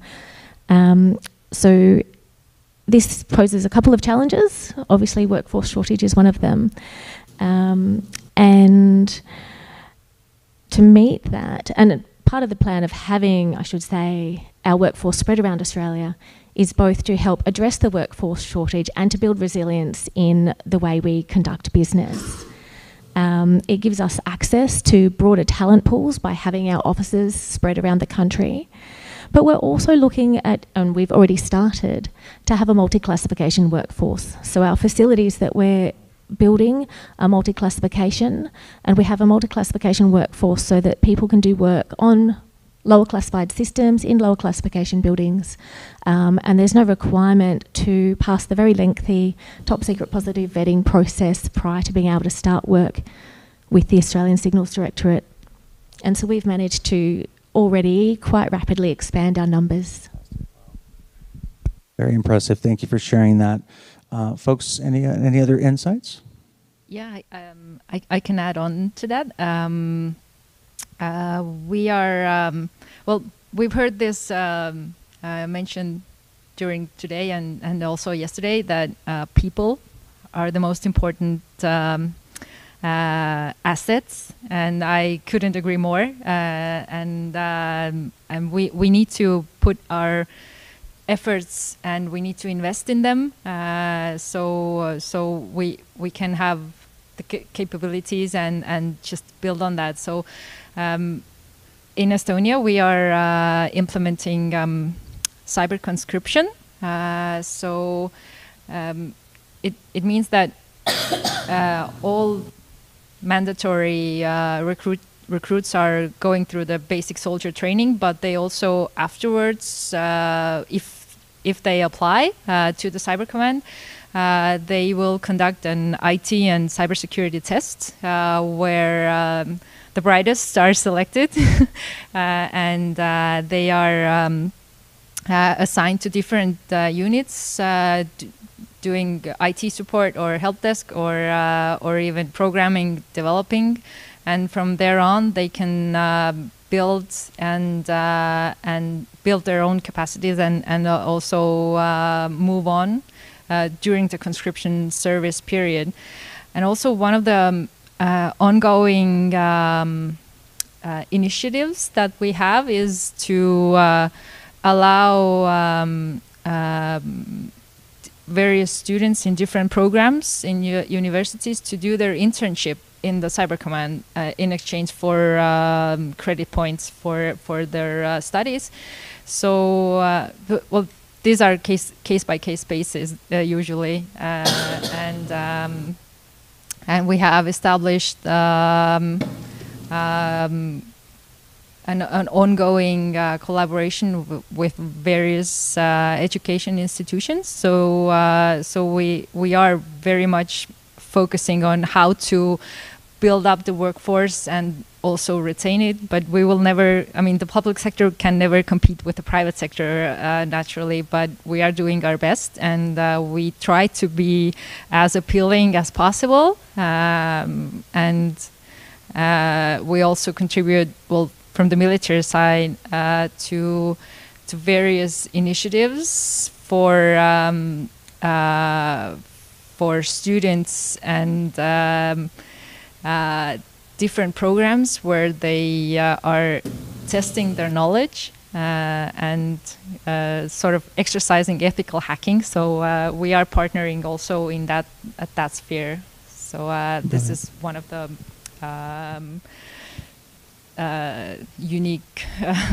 um, uh, approaches. I'm, I'm fascinated by this idea of, of the cyber conscription. Um, sir, is there something similar uh, in, in uh, with the Netherlands? Yes, we put a lot of um, faith and hope in uh, our uh, bond with the reservists in, in, in crafting a, a, big network of active reservists that we can call upon. Um, and of course, it's very important to engage in good relationships with employers so we have uh, annual uh, gatherings where we try to involve companies and explain the, the necessity of having reservists, especially with uh, ICT personnel. And uh, so that project is quite successful. Um, we have about, well, we have an amount of reservists uh, now employed who have various uh, specialties. And well, so that, that is been an important development uh, in, in involving more um, the, the private sector and, and getting more capacity. Fantastic, sir. And, and while you still have the microphone, um, so I appreciate you sharing your perspective, you know, for, for the nation perspective, national perspective. I think a number of us are familiar with the CCD COE, and, and, I was wondering if you could just talk a little bit about your work with the organization and um, some of the research and initiatives that you all are undertaking to help try to bridge that gap to develop better public-private partnerships? Right. Yes. So um, the NATO CCD COE, the Cooperative Cyber Defense Center of Excellence, took me a couple of years before I got that uh, flowing. Um, we we try to uh, promote cooperation. We have about 39 uh, member states, uh, of which about a fourth is uh, non-NATO, but partner nations like yours. Um, we have various initiatives in the past that I'm sure you're all well aware of. Um, but uh, currently, I think next week we will um, we will start a project called uh, Handbook on State Positions. We have received uh, grants in order to further that. Not just us, but it's alongside um, Exeter University, the Chatham House, uh, the government of Estonia, and Japan uh, to further this handbook, which will enable states to uh, that don't have state positions on cyber, enable them to to make it easier for them policy-wise, and uh, also show what other nations that have a state position have done, so that they can uh, uh use that. Then uh, we will also start with a handbook on data protection in armed conflict. This is still uh, in in the beginning phases, but now we're looking for writers who can help with this handbook. The, the commanders cyber commanders handbook uh, will be uh, revised and uh, into made into a 2.0 version as you have heard before. Um, so these are on the academic side initiatives. Then of course uh, we have Locked Shields coming up where we try to work with i think now it's 39 oh no 38 nations in uh, well a lot of teams that uh, will work together to also lock do the legal is an track. exercise yeah. Oh, yeah. Locked Shields is an exercise, I should say. We have two big exercises. Locked Shields is one of the crown jewels, and um, this year will be the first time that it will set in an armed conflict So that will also make for a very interesting legal track. I'm a bit biased because I'm leading the track, but uh, I'm just uh, promoting it as well. And finally, um, yeah, we we have of course the, the international law course um, where with with various esteemed professors that have taught there in the past, and um, that can uh, I, that I can recommend to all the lawyers that want to learn more about cyber and international law. Thank you very much. Now, I, I, imagine some folks in the audience probably have some questions, but I have one more question for you all, and and what I'm looking for is is your perspective, your individual perspective. Um, our opportunity to work together and have these conversations has been very eye-opening, and I imagine it's probably been very eye-opening for, for some of the folks in the audience and the folks that are visiting us uh, and joining us online. Um, but from your experience working with international partners, um, how can international legal practitioners work together to enhance mission delivery and accomplish shared goals? How can lawyers help bridge that gap and improve partnerships between the public private sector, but more importantly, in this context, with our international partners. Um, maybe we just go down the line. Ms. Peterson, any thoughts? Certainly. I have four words be curious, ask questions. Um, so we already collaborate really well. Um, after all, there's a reason we often call each other like minded, and often we have something in connection with any of the partners that we're choosing to undertake an activity with. However, our strength also lies in diversity. We are different nations, we have different legal systems, we have different cultural backgrounds. Um, and it's from that diversity that we draw our strength. And I just want to borrow the words of Judy from yesterday, which is same, same, but different. You know, we're all on the same page, but how we get there sometimes is different. Um, so I would say we can enhance our mission delivery by being actively curious about each other's legal systems, um, operational capabilities, and therefore what we can and can't do. So, for any particular mission or program, we can draw together those individual pieces of the puzzle to create a single uniform picture of where we want to be when we achieve that outcome. Wonderful. Thank you very much for sharing that. Um, sir, what are your thoughts? to end where I uh, started, and I'll try to look in the camera this time.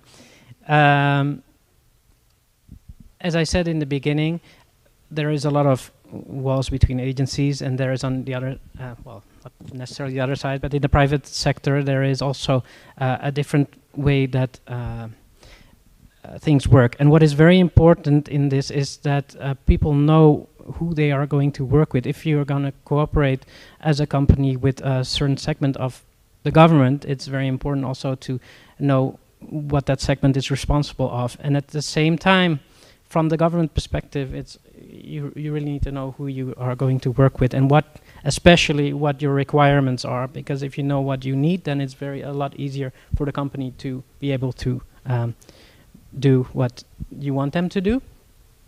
And this applies no less in the international sphere. It's it's also it's it's know who we are, are going to be uh, together with.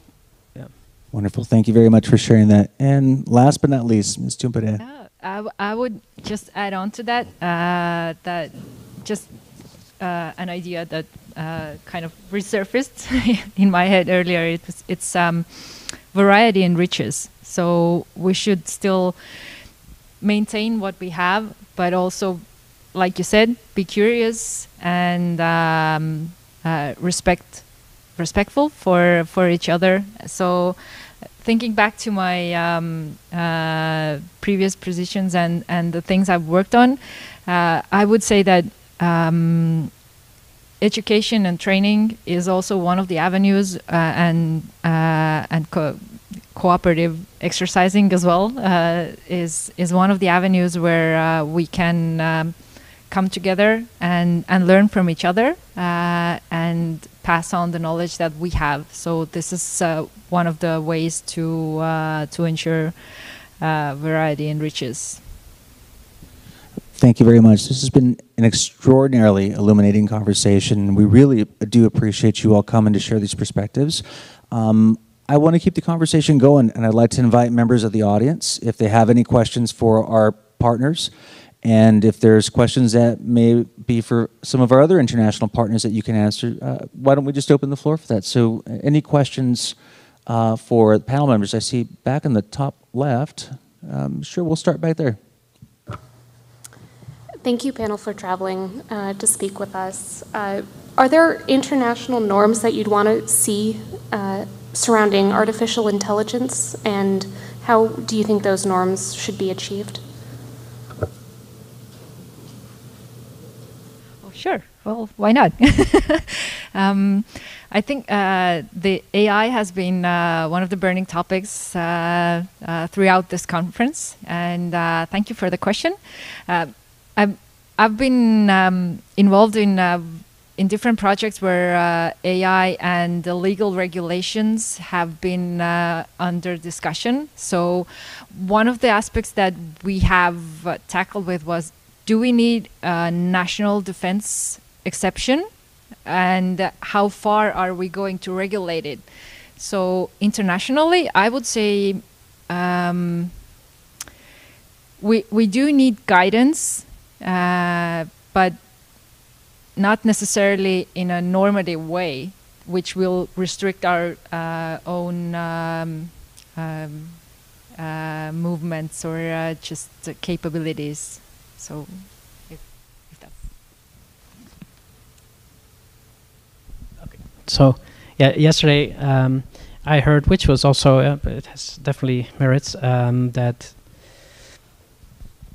for innovation, too much rules is not good, but uh, I would also maybe I don't want to sound too much like a European, but uh, uh, rules also provide a certain amount of predictability for, for governments and for, for citizens in order to work with what we have. So um, I would applaud uh, a basic rule set, and the EU has, as you all know, recently adopted uh, the start of it. So, yeah. I might answer the first part of your question so slightly differently um, because we are participating in the Council of Europe AI Convention discussions um, and have very similar considerations. But in terms of other norms that we're interested in maintaining, um, we're very, very interested in continuing to defend an open, free, secure, and interoperable internet. Um, through those international forums to make sure that it doesn't become under the control of any single nation state um, and continues to be um, that domain which is so unique um, and has all of our private and public partnerships um, maintaining it. Wonderful, thank you very much. Uh, any other questions from the audience? Yes, sir, right here in the back, back in the center. Yeah, um, are you aware of any standing international agreements, either NATO, ANZUS, or for Australia, particularly Five Eyes, that would allow bulk reciprocal sharing of cyber incident data, either from government networks or contractor network cyber incidents?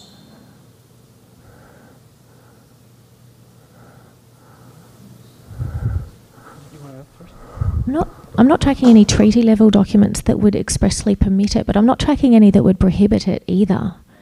Um, and so there's already a range of arrangements between Five Eyes governments to enable us to work interoperably. Um, so I'm not sure that we need a treaty to be able to achieve that amongst um, the Five Eyes partners. To add uh, from the NATO side, um, as I said, I've not been working there for a while, but I know that already when I was working there, there are various information sharing agreements, incident sharing uh, um, uh, constructs. Um, also, in the yearly Cyber Coalition exercise that we do, it's a NATO exercise, flagship cyber exercise. Uh, we practice this and we, we share information and incidents, uh, and, and, and, we use the systems that we created uh, to that purpose. I think I see another hand over here, sir. Thank you. Uh, I know this mentions, or this panel is on international perspectives, but I have a, a question about your, your, respective nations, your respective countries that might have international applications. Estonia, Netherlands, the Scandinavian countries, you serve as a model because you are some of the most extensively wired societies, if not in, certainly in Europe, if not the world. I think Estonia, you are probably one of a model of extensive interconnectedness uh, in terms of the internet and cyber activities. despite the fact that you're 1.3 million. You're also the safest. You also rank Netherlands, Estonia, the Scandinavian countries rank as the safest in terms of how little or relatively few uh, cyber attacks you experience in your society. But what you share in common are your relatively small populations and your relatively homogenous societies. Do you believe that your success would be limited in trying to transfer your success to much larger states like a United Kingdom, uh, perhaps, uh, or, or, or, or, or more diverse or larger state or country like Australia, that there might be limits to your success because your success is really the result of your smaller populations and, and relatively smaller geographic locations. So that you'll, no matter what you can do, if you have a larger population, larger state, the cyber attacks will, will persist. Yeah, that's that's true. Thank you for the question. And um, uh, well, well, there could be several reasons why uh, why those uh, attacks have um, decreased. But in fact, I, uh, as much as I recall, it was last year. Um, the similar attacks that happened in Estonia in 2007, um, that were sort of the pivotal uh, turning point for, for especially for from NATO cyber policy.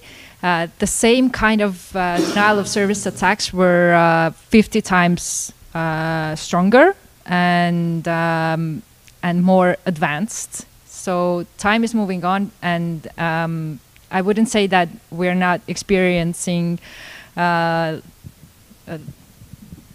so so few uh, attacks. We we do have um, uh, a large number number of incidents uh, happening quite often and frequently, and uh, in terms of size and scale, uh, the the size of our um, uh, nation and also the interconnectivities, it, it can be seen as a benefit but it also can be a disadvantage uh, in various aspects. So I, I'm not so sure how it translates to a, a larger nation, but what I do can compare is um, is that uh, sometimes it seems a bit overlooked uh, that um, if uh, in comparison to US, you have a, a floor full of teams uh, with lawyers and uh, and specialists working on uh, different projects. Then back home, back in my country, there's uh, likely only one person in that team. So we we do need to. Um, set our priorities because otherwise we would be a bit overwhelmed. So uh, I'm uh, I'm sorry to say I don't I don't really have an answer how to uh, transpose and translate our uh, experience to a larger country and and um, we just um, need to be vigilant. I would say. Um, so not to come to the defense of the Netherlands, even though it is my job. Um, we are about 13 times the population of Estonia and about a fourth of Germany. Um, that doesn't make us necessarily a big country, but it is definitely a multinational country. And um, I think the reason for it being, I, I take it, uh, relatively uh, safe is not so much in the homogeneousness of the country, but more uh, we have a very open policy. We thrive on trade. We, we ideally everything is open, open trade, and uh, that's how we not only make our money, but that's also um, what we like to promote. And in order to do that, in order to have a society like that, you also need to make friends everywhere. And if you have friends everywhere, you have less enemies. Um, so uh, that's a very simple answer to a probably way more uh, complicated uh, problem. But I, I, I think it can be the start of a right answer. Thank you, sir. Great question. Uh, any other folks? I think I saw another hand out in the audience. Yep, right over here, sir, on the right side. Yes, um, I was wondering, um, in Estonia with um, world events going on so much um, with um, the war in Ukraine and things like that, and Russia so close by, has that caused any changes in, in uh, the, the statutes have been enacted and things like that. Have there, have there been any legislative changes important since the, since the Ukrainian war started? For cyber? Hmm. Well, uh, as uh, as I'm trying to uh, organize my thoughts, thank you for the question. Uh, the um, uh, war in Ukraine has um, uh, has certainly had its impacts, um, and I would say um, domestically and nationally we are um, we're being rational and we are implementing the same vigilance uh, that we used to. And from a cyber perspective, uh, we are um, from uh, di different through different mechanisms. Uh, we are facilitating IT support and also um, other services uh, to help Ukraine. Um, restore uh, their uh, critical infrastructure and also uh, main maintain its functionality.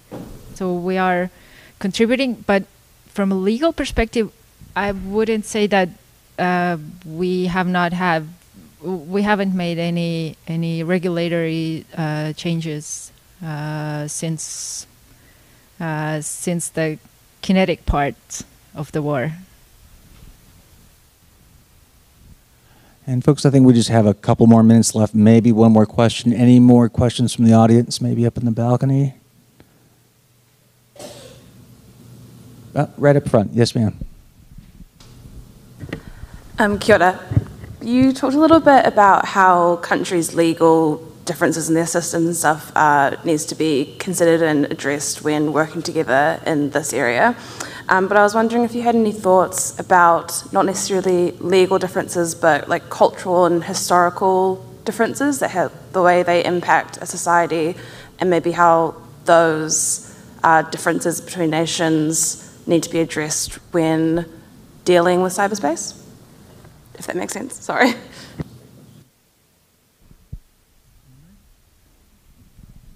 O open question for anybody, ma'am? Yeah, okay. Great question. Thank you.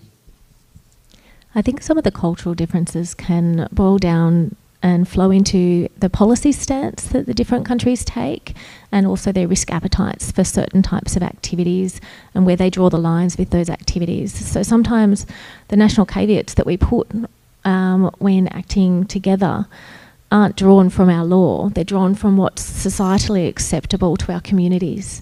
And I think that holds true for cyberspace operations as well.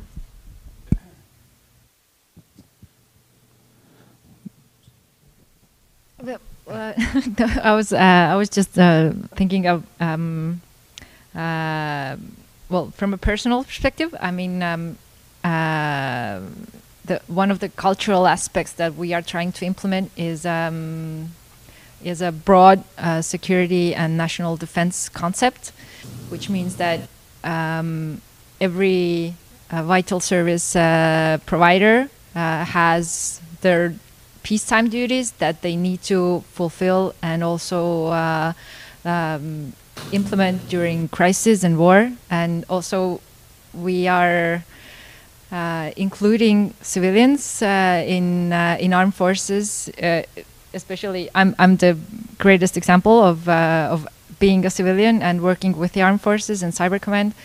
And this is one of the aspects that is really enforcing and and trying to um, to uh, to highlight the cultural difference and it and I'm the example that it, it works.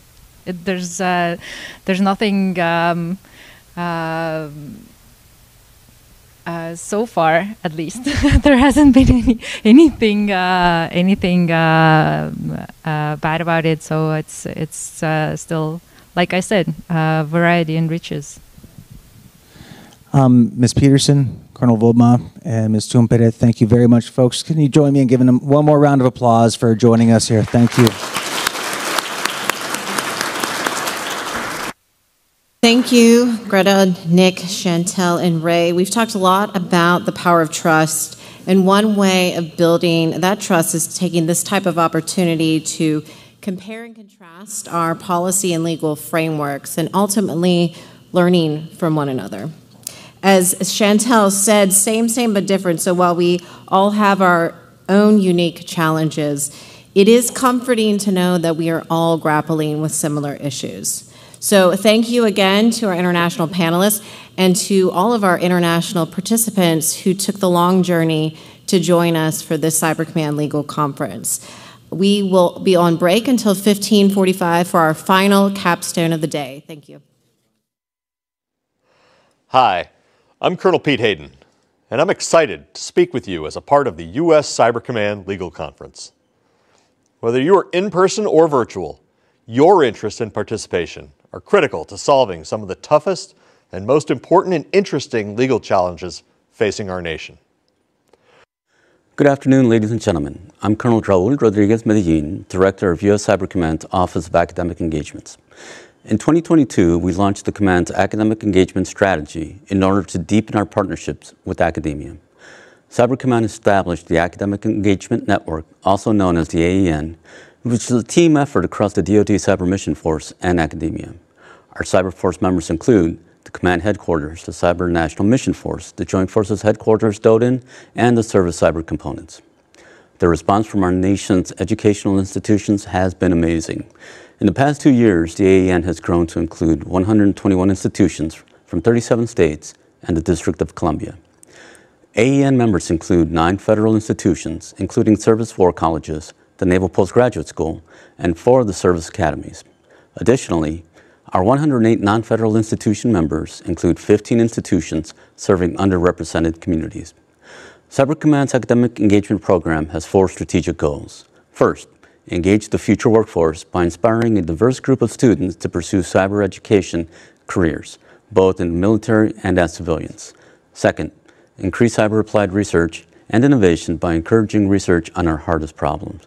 We are hosting another cyber recon effort this year which involves student researchers mentored by Cyber Command staff. The capstone symposium will be held at the Naval Academy in Annapolis, Maryland in mid-April of this year. Third, expand cyber-focused analytical partnerships by providing insight into adversary cyberspace strategies, organizations, and capabilities. Fourth, enrich strategic cyber dialogue. By engaging faculty, we challenge Cyber Command's concepts and refine command strategies, as well as align our senior leader engagements with our academic partners. As we enhance our academic partnerships, the legal profession is a critical aspect to this maturing relationship that will allow us to increase intellectual rigor as we advance the nation's cyber warfare capabilities. To find out more, check out the AEN at cybercom.mil. Hi, I'm Colonel Pete Hayden and I'm excited to speak with you as a part of the U.S. Cyber Command Legal Conference. Whether you are in person or virtual, your interest and participation are critical to solving some of the toughest and most important and interesting legal challenges facing our nation. Our commander, General Haugh, has set out his guiding priorities based on our competitive strengths people, innovation, and partnerships. This conference will give us the opportunity to discuss exciting legal issues involving all of these priorities. But I want to reach out on something near and dear to all of our hearts here at Cyber Command. Our commander's very first priority is people.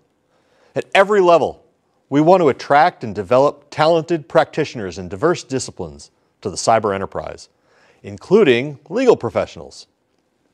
Through participation in this week's events, you'll see exactly why that's so important to Cyber Command, to the services, and to the nation.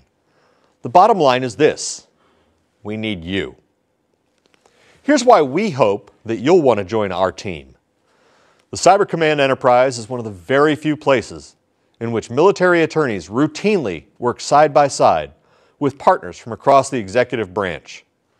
They also get the rare opportunity to partner with the best and brightest throughout the joint force, to be a part of those high functioning joint teams comprised of talented attorneys from across the services. Our counsel worked closely with the legislative office to help shape our congressional authorities. Whether drafting a legislative proposal, identifying policy and legal implications of an authorization act, or assisting with congressional testimony preparation. Our office is deeply engaged with our legislative liaisons and our legislative overseers. Our judge advocates, civilian attorneys, and paraprofessionals work closely with the private sector and academia to develop collaborative mechanisms to advance national security interests and defend against malicious cyber activity. Finally, U.S. Cyber Command attorneys regularly interface with our international partners on everything from military exchanges, exercises, information sharing, to coordinating plans and operations, furthering our interoperability and deepening relationships with our strategic partners. Here at United States Cyber Command, we build relationships across the services, industry, research community, academia, and the whole of government, and we do it to facilitate innovation and foster collaborative sharing platforms to advance our national security interests and defend against malicious cyber activity. Our partnership philosophy, it's baked into our statutory mission to direct, synchronize, and coordinate military cyberspace planning and operations to defend national interests in collaboration with domestic and international partners. Our practice is diverse. If you're a legal professional interested in national security law, we offer you opportunities you won't find anywhere else. Through your legal advice, Cyber Command will be better postured to defend Department of Defense information networks, to generate insights and options in defense of the nation and in support of other combatant commanders, and to ensure enduring mission advantage for the Department of Defense, the United States, and our allies and partners. If you're an administrative law or a criminal law practitioner, and you're listening in because you want to try something else, or you just find this work interesting. Your analytic and advocacy skills are what we're looking for to solve emerging problems and make lasting change. If you're a contract or fiscal law wizard, please give us a call. National security law and acquisition law work hand in hand to enable our operators to spur innovation and maintain our technological primacy and build our enduring advantage as the finest fighting force in the world. We're in a war for talent, and we look forward to partnering with you in the unique, demanding, and highly rewarding practice of law at U.S. Cyber Command.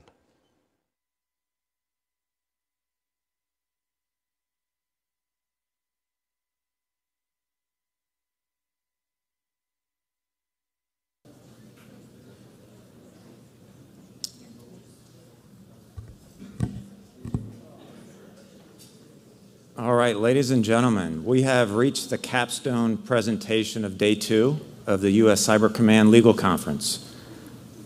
We originally advertised Mr. Matt Olsen, the Assistant Attorney General for National Security at the U.S. Department of Justice, uh, but he was un unable to attend today. As you've heard a few times this week, uh, Section 702 reauthorization has required the time uh, and attention of several senior U.S. government leaders in the national security ecosystem.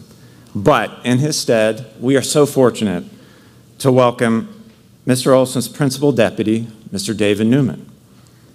So, for the format for the capstone presentation, Mr. Newman is going to come up and provide remarks, and then we are fortunate to have Mr. Raj De, who will join him on stage seated for more of a fireside chat, and then we'll open it to questions.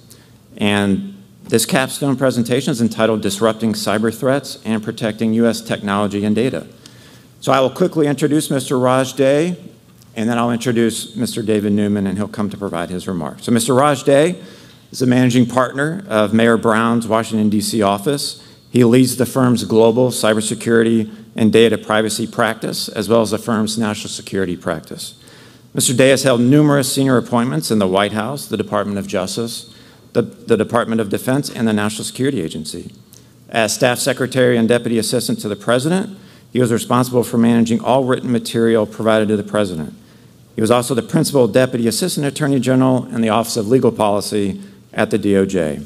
And close to all of our hearts at U.S. Cyber Command, Mr. De was the General Counsel of the National Security Agency. And finally, Mr. David Newman. Mr. Newman is the Principal Deputy Assistant Attorney General for National Security at the National Security Division at the U.S. Department of Justice. Uh, before returning to the DOJ, Mr. Newman was a partner at Morrison and Foerster, and he previously served in government as the Associate White House Counsel and Special Assistant to the President of the Office of the White House Counsel, to the President and the Office of the White House Counsel, and various posts on the staff of the National Security Council, and as counsel to the Associate Attorney General for National Security at the DOJ. And he was previously a law clerk uh, to U.S. Supreme Court Justice Ruth Bader Ginsburg. Mr. David Newman.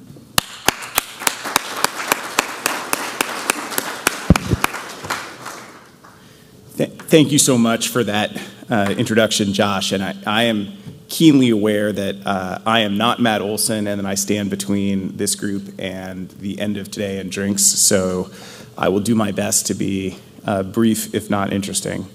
Um, as Josh mentioned, my name is David Newman, and I serve as the Principal Deputy uh, Assistant Attorney General for National Security at the National Security Division, or NSD, as, as we are known, because we need to have an acronym to be in the national security space. It's very much an honor uh, to be here with such a distinguished crowd uh, so devoted to the mission. Um, before we begin the fireside chat portion, and, and Raj hits me with the hardball questions, I just wanted to spend a few minutes highlighting some of the ways in which we at the Department of Justice and NSD, my division in specific, is innovating to address the national security cyber threat landscape. Um, first, some very brief history. Congress created NSD in the aftermath of the September 11th terrorist attacks with a mission to unify DOJ's national security work. Um, the vision was to bring together the prosecutors in our counterterrorism and our counterespionage section, um, which were both in separate places in the criminal division, uh, under the same leadership that oversaw the DOJ lawyers who worked with the IC, obtaining uh, uh, surveillance authorizations from the FISC. Um, and the original mandate for NSD was to take down the unnecessary silos that separated law enforcement and intelligence professionals and folks such as yourself um, to ensure that DOJ could bring to bear the full range of authorities to disrupt national security threats. And for the first decade uh, of NSD's existence, our principal focus was on confronting the threat of international terrorism. And we knew we needed to change the DOJ mindset to become more threat and intel driven. And even as hundreds of terrorists, uh, hundreds of individuals were convicted of terrorists and terrorism related uh, charges in federal courts in the first decade after 9 11, um, we all knew and understood that the measure of success uh, was not a conviction, uh, but a stopped plot, and the imperative to uh, detect and disrupt uh, terrorist attacks before they occurred. And today, in the National Security Division, there remains no greater priority for us than uh, the international terrorism mission, as the horrific October 7th attacks uh, underscore. But, but as we all know, the national security threat landscape is a lot more uh, complex, dynamic, and varied. And our work has evolved to reflect, reflect that threat from capable nation state adversaries. The, uh, this is especially true when it comes to the cyber threat. We've all seen and, and heard, I'm sure, at this conference about the con concerning trend lines, hostile adversaries conducting cyber operations with alarming scale, speed, and sophistication. And cyber has become the vector of choice for hostile nation states seeking to steal our most sensitive technologies, to exert foreign malign influence, uh, and to project messages of repression at diaspora communities and compromise critical infrastructure. And the list of capable adversaries engaging at such activity is at this point by no means limited to the Chinas and the Russias. You see Iran and Iranian backed proxies engaging in a broad array of sophisticated cyber activities, both to generate revenue and uh, to advance operations. You see the DPRK, the North Korean government, engaging in sophisticated crypto heists and IT worker schemes to uh, fund its nuclear program and authoritarian agenda. And you're seeing uh, increasing use of cryptocurrency and encryption from international terrorist groups to advance plots. And just as uh, the cyber threat has evolved, the National Security Division and the work of DOJ has needed to evolve to meet it. And we've tried to draw on some of our terrorism uh, roots to do so. Um, it may surprise some here to learn that up until last year, there was no one section at DOJ dedicated to going after national security cyber threats. Uh, instead, within NSD, um, that work was housed in CES, our Counterintelligence and Export Control section, um, whose mission uh, also focuses on counterintelligence, sanctions and export enforcement, for, uh, countering foreign malign influence, uh, among other uh, mission requirements.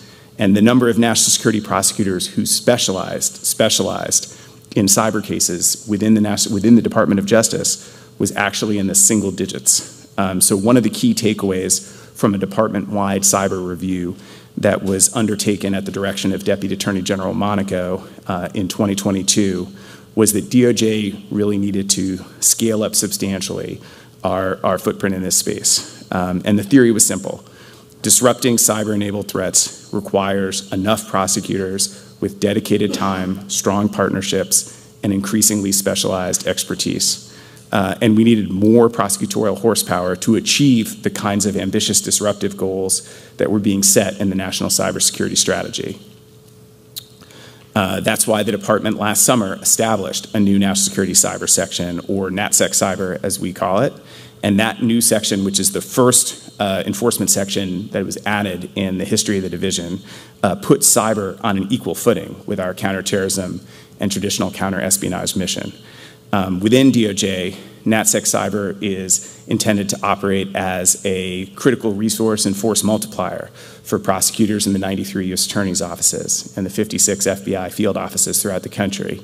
Uh, prosecutors and agents in those offices are on the front line confronting the cyber threats in their district, um, but NatSec Cyber enables us to partner with the field to respond swiftly to highly technical threats and to serve as an incubator for cases that are either too sprawling or too nascent for any one office to handle. Um, NatSec Cyber is also a way to better align DOJ's own structure uh, so that it matches that of some of our key USG and international partners, many of whom have dedicated cyber units and workforces. Uh, but obviously, obviously, changes to the org chart are uh, the means and not the end. So I just want to give a few concrete examples of the type of work that we are accelerating. Uh, first, our focus is on disrupting illegal cyber activity before it can cause harm uh, and uh, threaten national security. Drawing from our CT playbook, uh, we are taking a threat-driven but also a victim-centered approach. And while we always look to make arrests where possible, um, our law enforcement disruptions can take many forms. And that's a matter of necessity because, as we know, many of our, our leading cyber subjects and targets, uh, particularly in the national security and ransomware space, are protected by hostile governments such as Russia and Iran. And in some cases, we know they're not just being protected, but they're receiving that protection in exchange for being on call for their local military or intelligence services. So, how is law enforcement disrupting actors outside the context of criminal charges and arrests?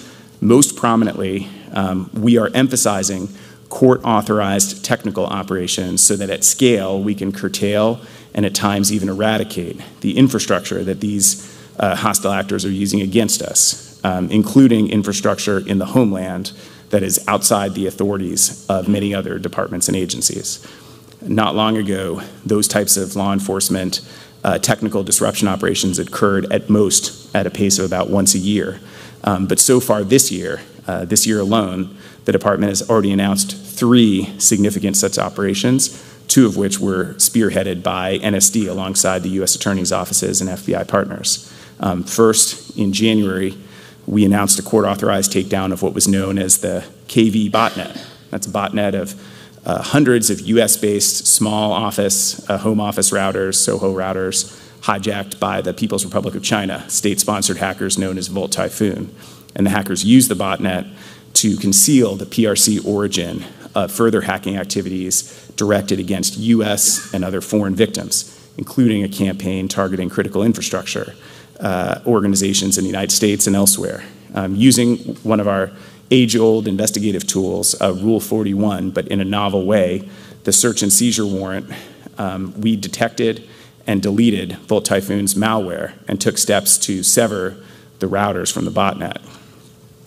Second, in February, we announced a court authorized operation that neutralized another network of SOHO routers that had been compromised, this time by the Russian GRU. And those routers were being used to launch cyber attacks against the United States and our allies, including in, in Ukraine. And again, using a Rule 41 search warrant uh, and a little bit of innovation, we were able to delete stolen and malicious data from the compromised routers and block the Russian actors from gaining further access to them. Uh, finally, also in February, uh, our colleagues in the criminal division, who are critical partners in this work spearheaded their own disruption against Lockbit, one of the most prolific ransomware groups menacing the private sector. Um, it, defer, it, deserves emphasizing that this is a team sport. Uh, even as the operations relied on DOJ legal process, um, we are very often not alone in planning or executing them, and we are almost always joined by a coalition of US government, private sector, and foreign partners in this work. Uh, in disrupting the GRU botnet, for example, we planned and coordinated with the Shadowserver Foundation, Microsoft, other private sector partners, and shortly after we announced the operation, the FBI, NSA, Cybercom, 11 foreign partners uh, released a joint cybersecurity advisory providing device owners and network defenders with valuable threat intelligence uh, about the GRU's tactics, techniques, and procedures. Many of these same partners provided invaluable assistance in eradicating portions of the botnet within their, their borders. Um, and of course, technical disruptions represent just one aspect of our work. We also use the criminal justice system to identify and attribute malicious activity and to impose consequences on actors who may be specifically deterred even when foreign governments cannot be.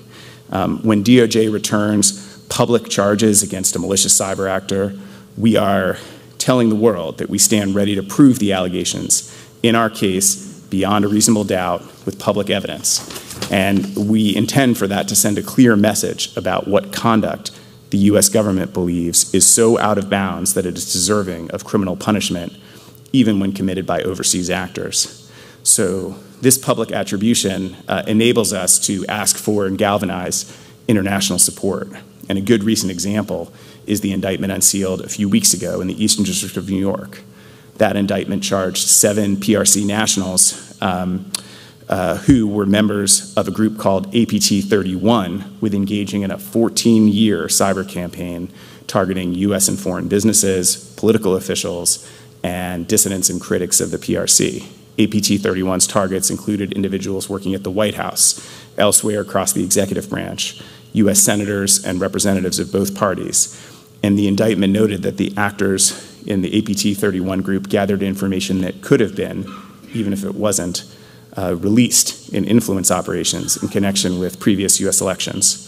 Uh, the indictment, in turn, enabled the U.S. government to express common cause with 17 countries in Europe and Asia, who, on the same day the indictment was unsealed, made public statements condemning APT 31's targeting of democratic institutions and political processes around the world. Um, so, in addition to the cyber actors themselves, it's important to note that DOJ is also redoubling our efforts to go after the source the cutting edge technology that enables these threats. Last year, the department stood up the Disruptive Technology Strike Force, an interagency enforcement team co led by NSD, my division, and the Commerce Department's Bureau of Industry and Security. And the strike force was created to counter efforts by authoritarian governments to acquire sensitive technologies, including the technology that enables advanced computing and autonomous vehicle capabilities, such as semiconductors and microelectronics. And it brings together the collective power of law, law enforcement agencies to pursue enforcement actions against those who violate sanctions and export laws and trade secret laws to acquire sensitive technology. We've created 15 enforcement teams across the country made up of federal prosecutors and agents who are strategically co located in places where there is a strong tech industry presence or heavy commercial trade, including in San Francisco, Phoenix, Miami, and Boston.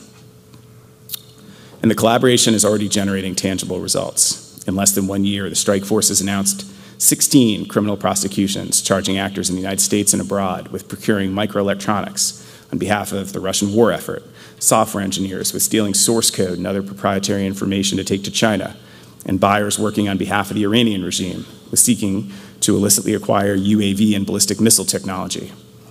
Strike Force's cases include protecting technology that can be used for cyber related malign activity, including AI, which is a key focus area of this work. Last May, for example, we announced charges against a former employee at Apple who allegedly stole large quantities of data related to the company's self driving car technology before decamping to a subsidiary of a Chinese company that was working to develop the very same tech.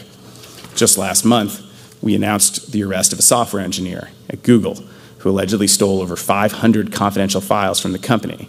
The stolen information included details about the hardware infrastructure and software platform used in Google's advanced supercomputing data centers. About the same time, That same defendant was allegedly stealing the information. He was secretly working with two China based tech companies, including an AI focused company that he founded. Um, we know that the cyber threats we face will increasingly be generated by AI technology, and that that technology will in turn be powered by bulk data sets involving Americans. Bulk data about Ameri American finances, for example, can be mined for leverage, for coercion, blackmail, and espionage. And adversaries can use geolocation data and other information to identify U.S. government personnel based on travel patterns and meeting activities.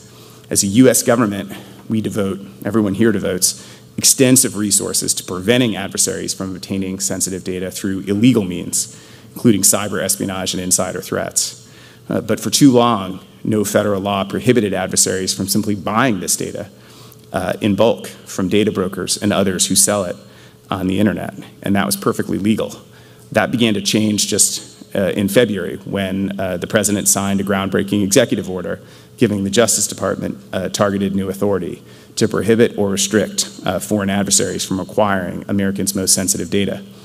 Uh, this executive order protects seven categories of American sensitive data that pose the greatest risk, including genomic data, biometric data such as fingerprints and key keyboard usage patterns, geolocation information, personal identifiers, personal health, and financial data.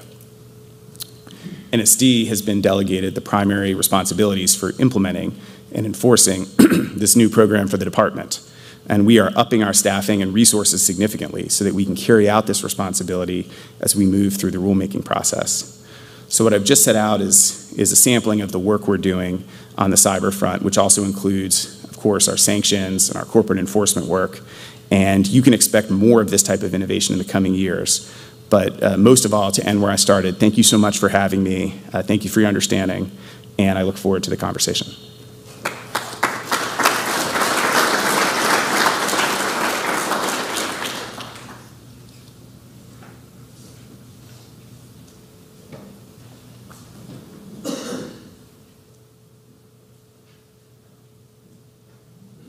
Okay, hopefully everyone can hear all right.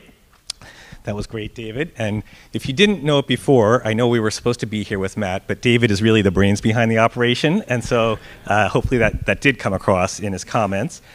So our plan is for me to ask a few questions of David um, on some of the topics that he spoke to, and then to open it up to the audience. So we're going to have some time at the end.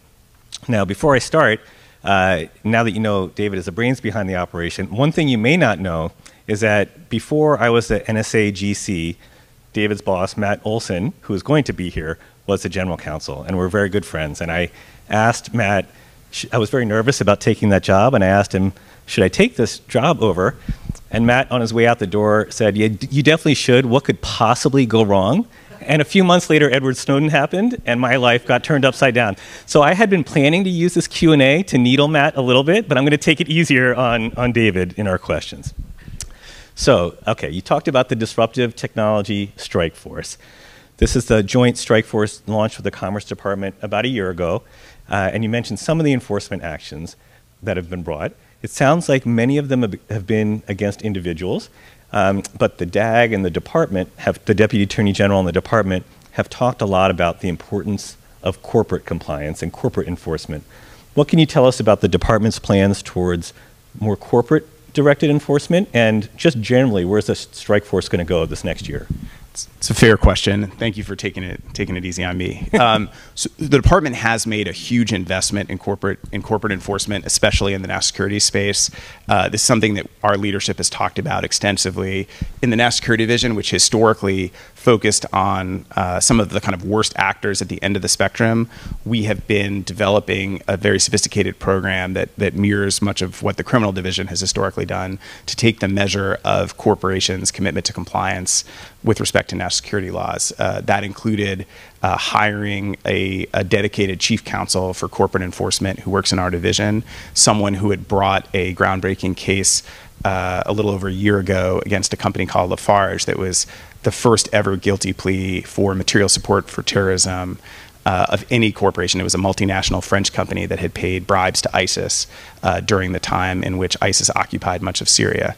Um, and it resulted in a 700 million plus uh, a penalty that, that was paid, as well as that first ever conviction. Um, we have also been partners with the criminal division on some other very major resolutions over the last uh, year um, not in the strike force context, so it's a fair question, but in other contexts. That included the resolution against uh, Binance, the, one of the largest cryptocurrency exchanges in the world, that paid billions of dollars uh, in penalties and whose CEO came from uh, the UAE to the United States to plead guilty to a, a, a, felony charge that potentially exposes him to a year or more of prison time and who has been um, required to stay in the United States pending his upcoming sentencing. Um, we also brought what is the largest uh, North Korean criminal sanctions enforcement case against British American Tobacco um, uh, a little over a year ago.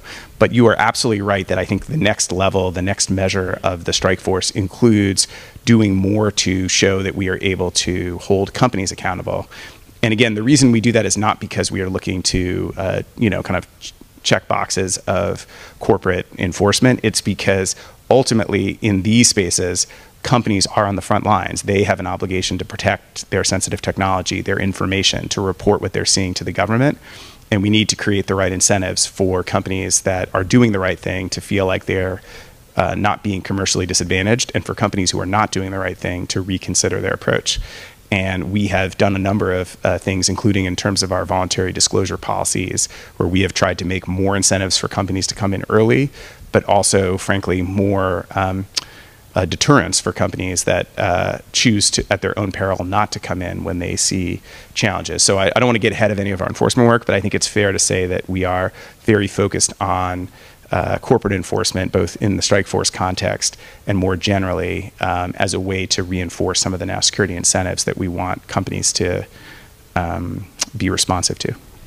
Well, that's really great. As somebody who represents a lot of companies, it's really great to hear that it's not just about punishing bad actors, but about acknowledging, like, as many of my clients are, good actors who are trying to do the right thing. Um, so that, that's really great. So let me ask you, you mentioned the new NatSec uh, cyber section, and you mentioned the, the indictments against the APT 31 actors. So for lots of folks in the cyber arena, the threat landscape is just so overwhelming. So one natural question arises, do these individual indictments that the department bring, brings really make any difference? I mean, they're great symbolically and they have some impact globally. But what is your best case to, de to defend why that tool fits into our overall toolkit for cyber activity? No, it's a, it's a, it's a very fair question. And I, I think we know that we're not going to be able to jail our way uh, out of the cyber threat arena, but we nonetheless believe very strongly that our cases can have impact. We just have to we have to choose the right ones. So APT 31, which I spoke about a little bit and, and you highlighted, is a, is a key example. First of all, separate and apart from the individuals, I think the fact that we were able to tell in an unclassified form with a, a, high degree of detail and specificity what it is that we had found is something that allows us to really galvanize, as I mentioned, international support, get other countries to sign on to what we're doing, sh- show other countries that might have, frankly, less of an ability on their own to speak up and decry. Uh, Chinese malicious cyber activity that they have in the United States, a kind of powerful voice that is uh, uh, verifying and corroborating what they are themselves seeing internally. Um, I also do think that uh, cyber actors, even if the countries can't de- be deterred, even if we can't deter Russia or China from all manner of cyber activity, that the individuals who work in those countries, uh, who are part of some of these ecosystems of non government actors who freelance on projects that they know are uh, kind of malign in nature, they don't they can be deterred and they i think feel the potential sting and, and punishment of even just being charged criminally in the united states and the restrictions that that comes in terms of their travel and their liberty. Um, so i think that's very important. And then lastly we also are very focused on using those charges to uh, uh, highlight what they're to build kind of global consensus about what conduct is really wrongful and out of bounds, which I think is very, very important. And we give a lot of thought to that both at DOJ and in conjunction with our uh, interagency partners, so that the con- the conduct that we're charging speaks for a core set of uh, values and beliefs. Um, I will also just say I think there are opportunities uh, as we progress to to get hands and cuffs on individual actors. You know, we have done so over the last several years. It's obviously the case that that several countries, Russia, I think first and foremost, has operated as like a safe haven for for actors. But the Department of Justice has a long memory, and once individuals are charged, even if it's not right away, they may one day find themselves in a country that, unbeknownst to them, has a better extradition relationship with the United States than, than they understand. And so we are very much trying to use this tool to impose consequences. It's obviously just one tool in the toolkit, but it's something that we, that we believe strongly in. I'm glad you mentioned uh, norms too and the value because I know a lot of people here and particularly at DoD think about cyber norms and it's, it's good to know that it's a government-wide effort, so thank you for that. Um, let me turn to the Data Security EO, uh, which you referenced. So President Biden signed an EO a few months ago related to the transfer of U.S. government data or bulk U.S. person-sensitive data. Um, and there's a lot of details in there, but at a very high level, can you illuminate for all of us what was the real need for that EO? Are there any concrete examples of bad activities that this is intended to get at, or the new regulatory regime. And then, uh, like in a very simple way, I have lots of clients asking, why is justice uh, involved in a regulatory EO about personal data? And so, a little bit of the backstory as to why is the Justice Department initiative. Sure. Well, um, the, the, answer to the first question is I think it was there was a very um, conspicuous gap in the collective authorities and laws in the country. It, it, it, frankly, myself and the different roles I play in the Justice Department, it was striking that we spend so much effort trying to uh, review, for example, under CFIUS, transactions involving data-rich companies to see what what sensitive data could be uh, exposed to a foreign adversary. We spend so much effort working with the private sector on hardening their defenses against cyber threats that are being used to pull that data out illegally using uh, malicious cyber activities. We spend so much effort on working with the private sector on insider threat detection programs. And yet, there was no kind of comprehensive law that prevented people from just selling that data directly from the United States to adversaries, or more realistically, to cutouts of those adversaries, you know, on the open internet. And the market for data brokers is a very rich uh, market that, that is easily obtained. And e even if some sophisticated actors could use other means to get the data, I think the judgment that was made by many of them is that the easiest, lowest cost, lowest friction way to do it was actually just to buy it. Um, and that is, you know, at, at, at, an unclassified level, I think part of the thesis of the case here. In terms of how that data can be used, and I, I, I previewed a little of this, but I think it's important to highlight it if you have multiple large data sets of different kinds of sensitive information, financial data, geolocation data, health data, uh, other data, you can that is a gold mine for any sophisticated adversary's ability to build models that can be used for all manner of nefarious purposes, starting most obviously with efforts to identify U.S. government personnel, to try to have insight into U.S. government actions, to try to start making uh, informed uh, assessments about plans, activities, operations of the U.S. government. Um, and you know, I think frankly, we, it's probably the real question is why you know why haven't we done this sooner? Because it's such a significant threat. But at this point, we felt like we had to we had to act and do it. And then in terms of your last question, which is which is a fair one. Um, first of all, DOJ, I think our sense was we have been at the forefront in the CFIUS process in some of our cyber related work in looking at vectors of uh, vulnerability and attack into sensitive data sets. That's often where we are the lead in transactions under CFIUS. That's a role that we play. We also are a regulator in the national security space already in the role we play under the Foreign Agents Registration Act. So we already have a civil uh, regulatory function. And so, although I would freely concede that there's probably no one department that is perfectly positioned to take on this role, we, uh, you know, with the encouragement of the Attorney General and the Deputy Attorney General, we were willing to take on this role because we just think it's a very important mission. Well, it's great that we've taken a step forward. I think, as most people know, the data broker discussion often gets twisted around privacy issues, which are valid, very valid, but has led to an inability to pass any legislation or anything like that. So uh, at least if we can tackle it from a national security perspective. That's great. Um, okay, a couple more questions and then we're going to open it up. So think of your questions. So the theme of this conference is the power of partnerships. Um, and cyber is probably the quintessential example of a policy and, and, threat topic that requires partnerships. Can you tell us a little bit about how the department is partnering with um, equivalents or affiliates outside the U.S., and what does that look like on a day-to-day basis? So it's a, it's a it's a great question. I think we we have an extraordinary series of partnerships with other governments. I think it would without getting into specific ones, you know, in a, in a public setting, I think it would surprise many to know who are some of the countries that have some of the best um, accesses and capabilities in this space. And we have found often that our tools plus their tools adds up to much greater than what we could do individually. And, and, and we, we, the United States government, and through our law enforcement channels, can often obtain information or request information in a way that even other U.S. government agencies that have very close relationships with, with those countries cannot. So for us, that is crucial. Um, again, I think the trend has been toward multi-jurisdictional, you know, multi-country uh, disruptions. That helps both to to be more effective, since a lot of these uh, actions and actors are.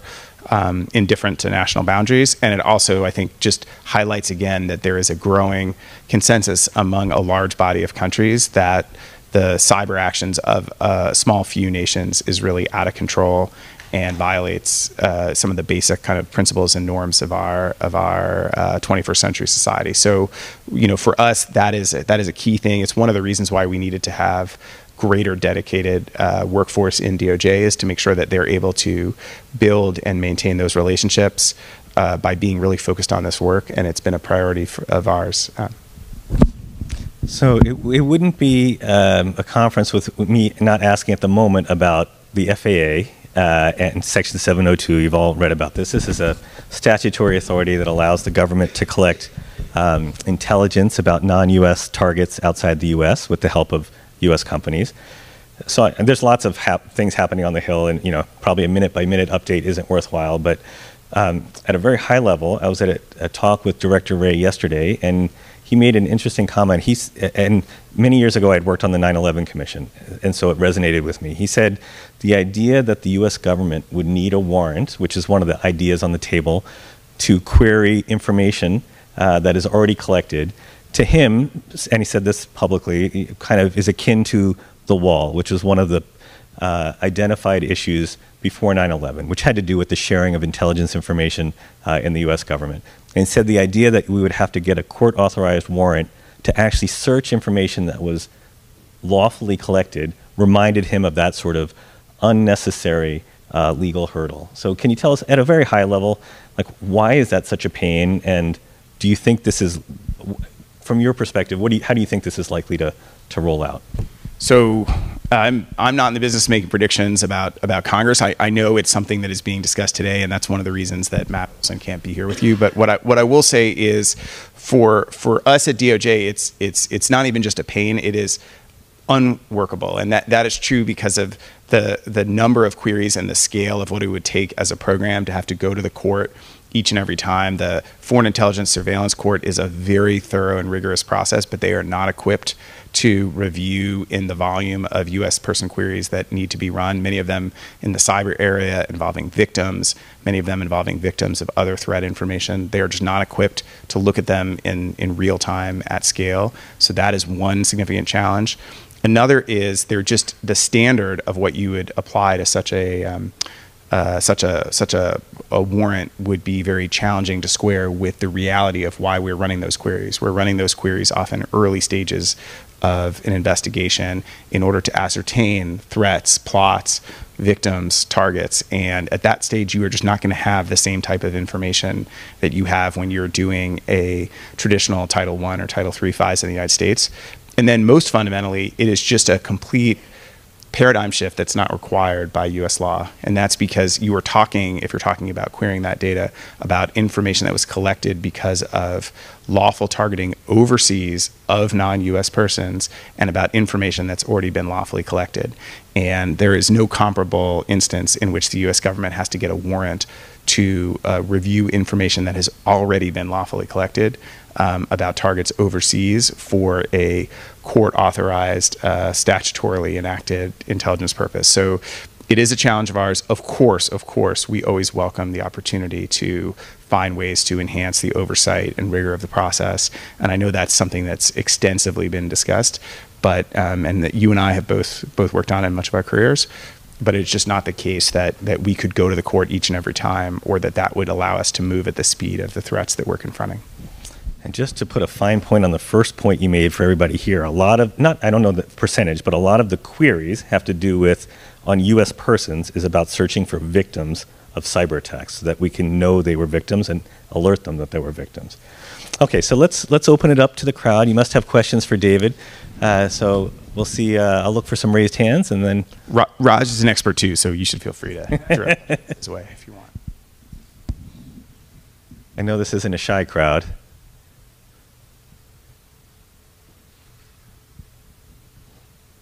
Nothing at the moment. I can keep going. Okay, why don't I why don't I keep going? And folks will think they'll have some. I think it'll percolate for a minute. So the topic du jour is AI. It's everywhere. It's in every conference. It's in, no matter what the topic. So one question for you is, how is the development of particularly generative AI just generally impacting the department? How, like, how does it impact the threat landscape from your perspective? And then, is it actually having an impact on the workforce? Uh, are there things the Justice Department is doing with AI tools uh, to help with the legal tasks?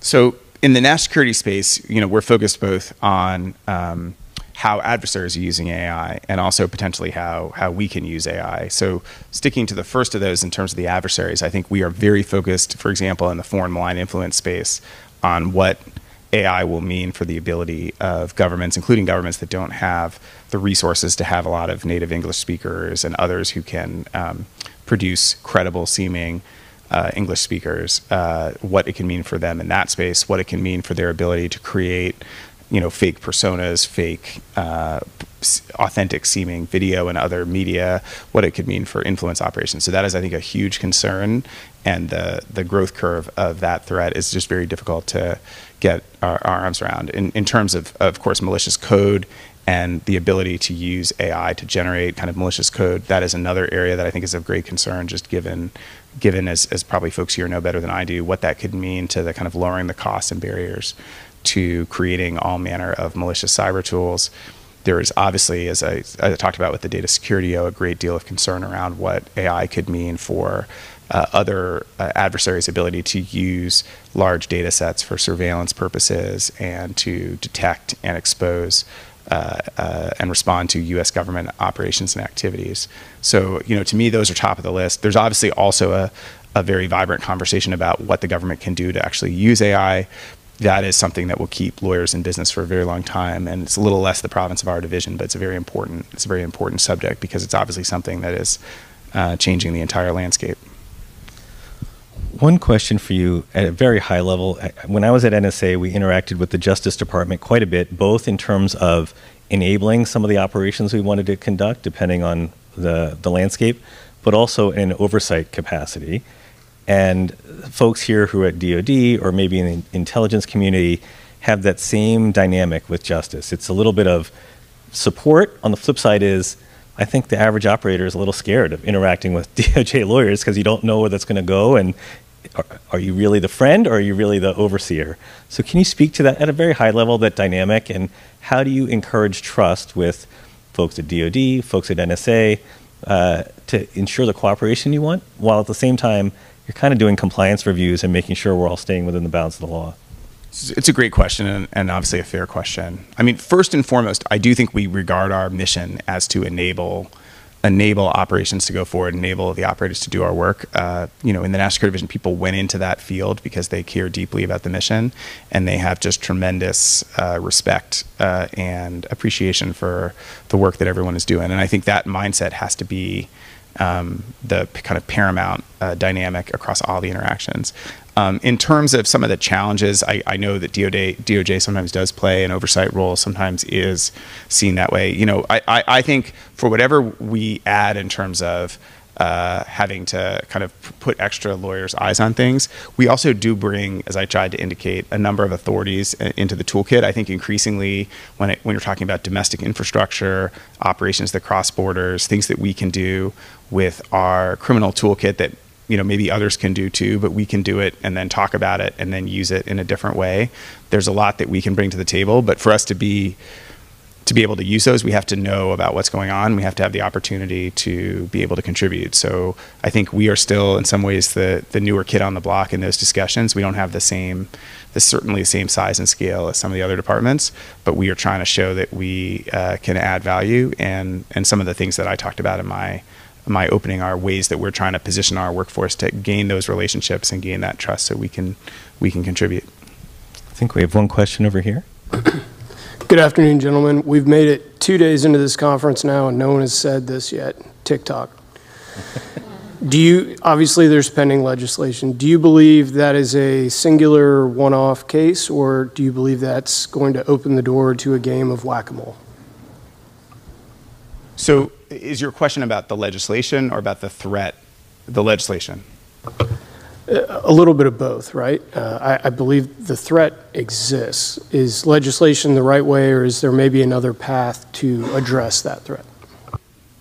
It's a, it's a great question. I mean, I think at, at a top line, the Department of Justice, others have supported legislation precisely because there is a current gap in our authority that makes it difficult to address the issue of foreign adversary controlled uh, social media applications. Essentially, the problem that a lot of those applications both collect a very rich amount of data that ultimately can become available to foreign adversaries, you know, including China, and also that um, those tools can also potentially be a vector for the transmission of either malicious code uh, or other manner of um, uh, malicious activity on behalf of a foreign adversary. So I think that is a very real concern, even without regard to a specific company and the legislation that advanced in the House, although it it has specific reference to TikTok and ByteDance, it actually gives authority across a, a kind of targeted category of foreign adversary controlled social media applications for us to do things. Um, in terms of the whack-a-mole or tit for tat, I mean, it, it absolutely is the case that, of course, there, there is that aspect with all adversaries. They're going to find new entry points and new vectors. But this does seem like a significant gap in our current authorities. It's also the case that there really is no symmetry if you're talking about China between us and China in that space. China does not even allow TikTok itself to operate in China. China does not allow U.S. companies uh, to operate in any respect in the way in the way that we allow all manner of companies to operate here. Uh, it's not intended to be uh, that bill is not intended to ban those those those applications. Uh, it's intended to change their ownership, and it is not intended to change uh, the, the, the ability of users to use the to post content on the platform. So I think it is very very different from the way, for example, China and other adversaries regulate their systems. It's not about ideas. It's not about speech. It's about responsible ownership. And uh, the only thing I would say, you know, in conclusion is, if if tomorrow someone tried to buy a social media application who is based and controlled, based in China and subject to the control of the Chinese government or the Russian government or the Iranian government, our CFIUS process would never allow that to happen. We would never allow uh, a company that was subject to instructions by those governments to do that. So I think from our perspective, it's a little bit of a, it's a significant and notable gap that where something can grow kind of organically across borders and have that um, aspect, it is otherwise, it's suddenly beyond the purview of the U.S. government. Thank you. I think I had one more question here, or maybe if you both don't mind saying your question out loud, and, and uh, David can address them together. So, ladies first. Sure. Hi, I'm Amy Neiman, and I'm the Army War College Fellow at DOJ. So, uh, just wondering, in the wake of Colonial Pipeline and uh, some uh, high-profile indictments of Russian hacking groups, there's been increased interest in what exactly the DOJ components are up to. So, can you share some thoughts on the department's thoughts, maybe on uh, disruption versus prosecution? And to the gentleman, maybe we could ask your question. You can wrap them both up. Good afternoon, gentlemen. Um, my as you were uh, giving your, your, I don't want to say speech, but as you were giving your presentation, one of the words that came to my mind is extraterritoriality. Uh, a couple of times it just kept popping up. Since the, the theme of the, uh, of the conference is partnerships, uh, are you able to talk to how you, uh, DOJ engages partners to overcome the perception that we are applying our laws extraterritorially? I mispronounced that, but you know what I meant. Sir both both really good and fair questions. So I mean, on, on threats involving Russia specifically, I think the department has been very focused for many years, but especially since February of 2022, uh, in how we have to position ourselves. We have a whole uh, task force, KleptoCapture, that focuses on the seizing of uh, Russian oligarch and and Russian state Russian state actors and their wealth uh, by enforcing our sanctions laws. We have done uh, significant innovative things in the war crime space uh, in regards to some of the atrocities being committed by Russia in Ukraine. We have uh, worked extensively, including using the strike force, to try to see what we can do to break the uh, supply chains that are allowing components that the Russians are using in some of their most effective weaponry from being restocked by using you know cutouts and others that that flow through different parts of um, uh, Eastern Europe and Asia, and that has that is a huge priority of the department, and and there are uh, there's a lot of resources being put into that space um, because we want to do what we can to contribute. Um, in terms of the extraterritorial extraterritoriality question, I think it's a great question. Uh, obviously, within DOJ, I think a lot of our focus is on cyber activity that's outside the United States that aims itself inside the United States. And uh, you know, I, I, feel like we are on pretty safe ground from our domestic laws and international laws from treating that activity rightly as activity that we at least have it crosses threshold to the point where we have a legitimate interest in deciding if it if it comports with our laws and with international uh, norms. Um, but but I think the the point you make is an important one, which is.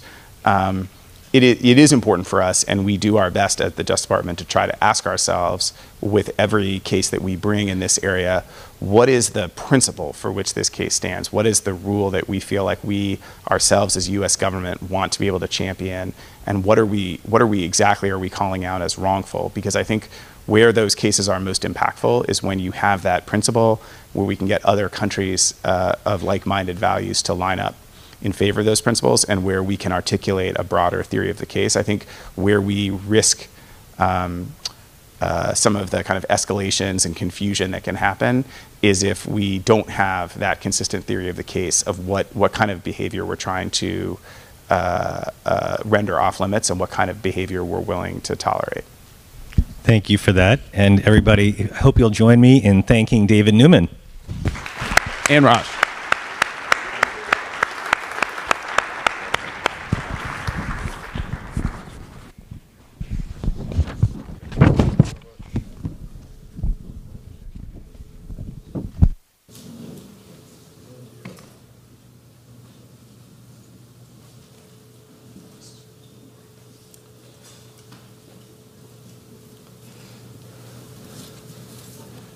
Well, ladies and gentlemen, now you understand that why we as U.S. lawyers practicing at Cyber Command and in the department and you know, in the State Department and Homeland Security, why we also value our partners at the Department of Justice. Uh, just marvelous attorneys, marvelous partners, marvelous colleagues.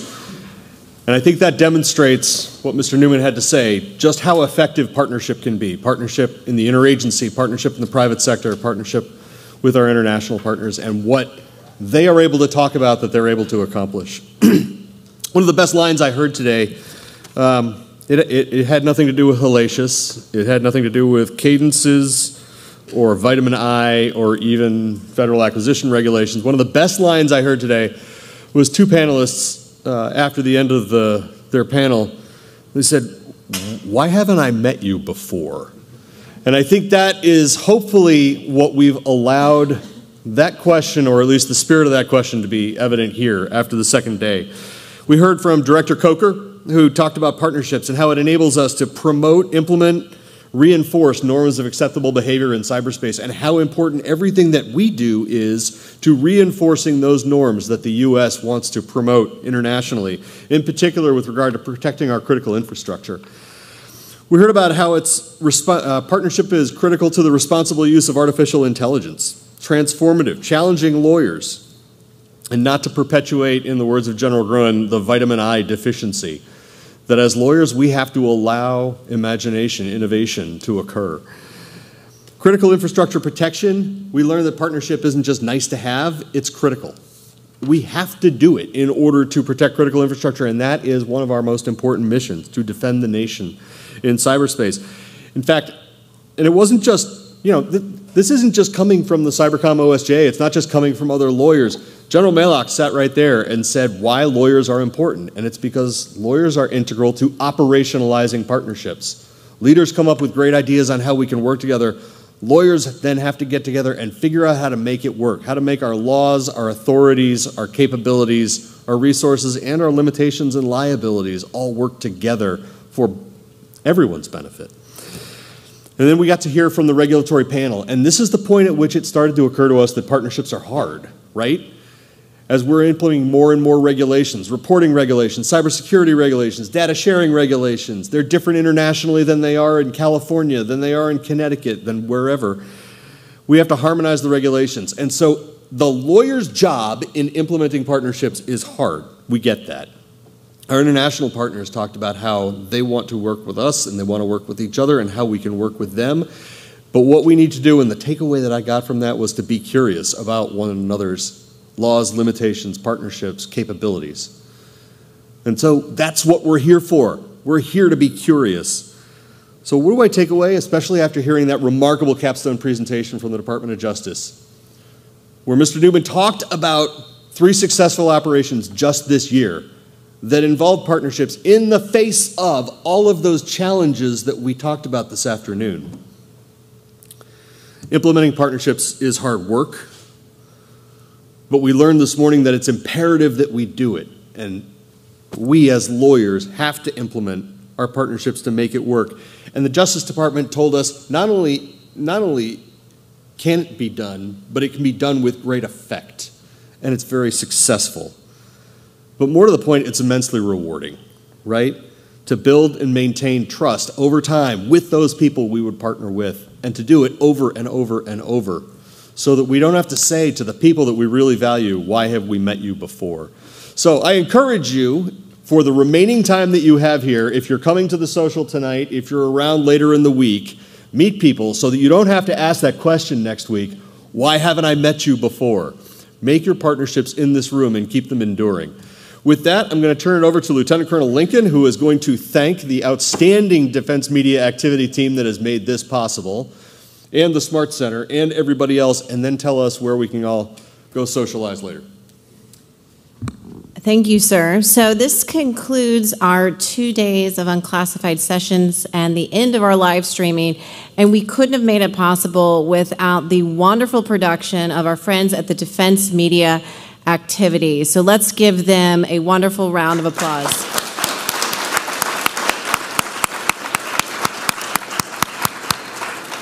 And as a reminder, these sessions will be recorded and available on DVIDS. So you, if you missed a session for our live streaming audience or anyone here, you can access that online for a uh, long time from now. So please, please uh, check that out. Also, thank you to all, all of our international participants and, of course, the Smart Center for hosting us here. Just a couple uh, um, uh, administrative remarks. So, as Colonel Hayden mentioned, please join us immediately following the conclusion of this.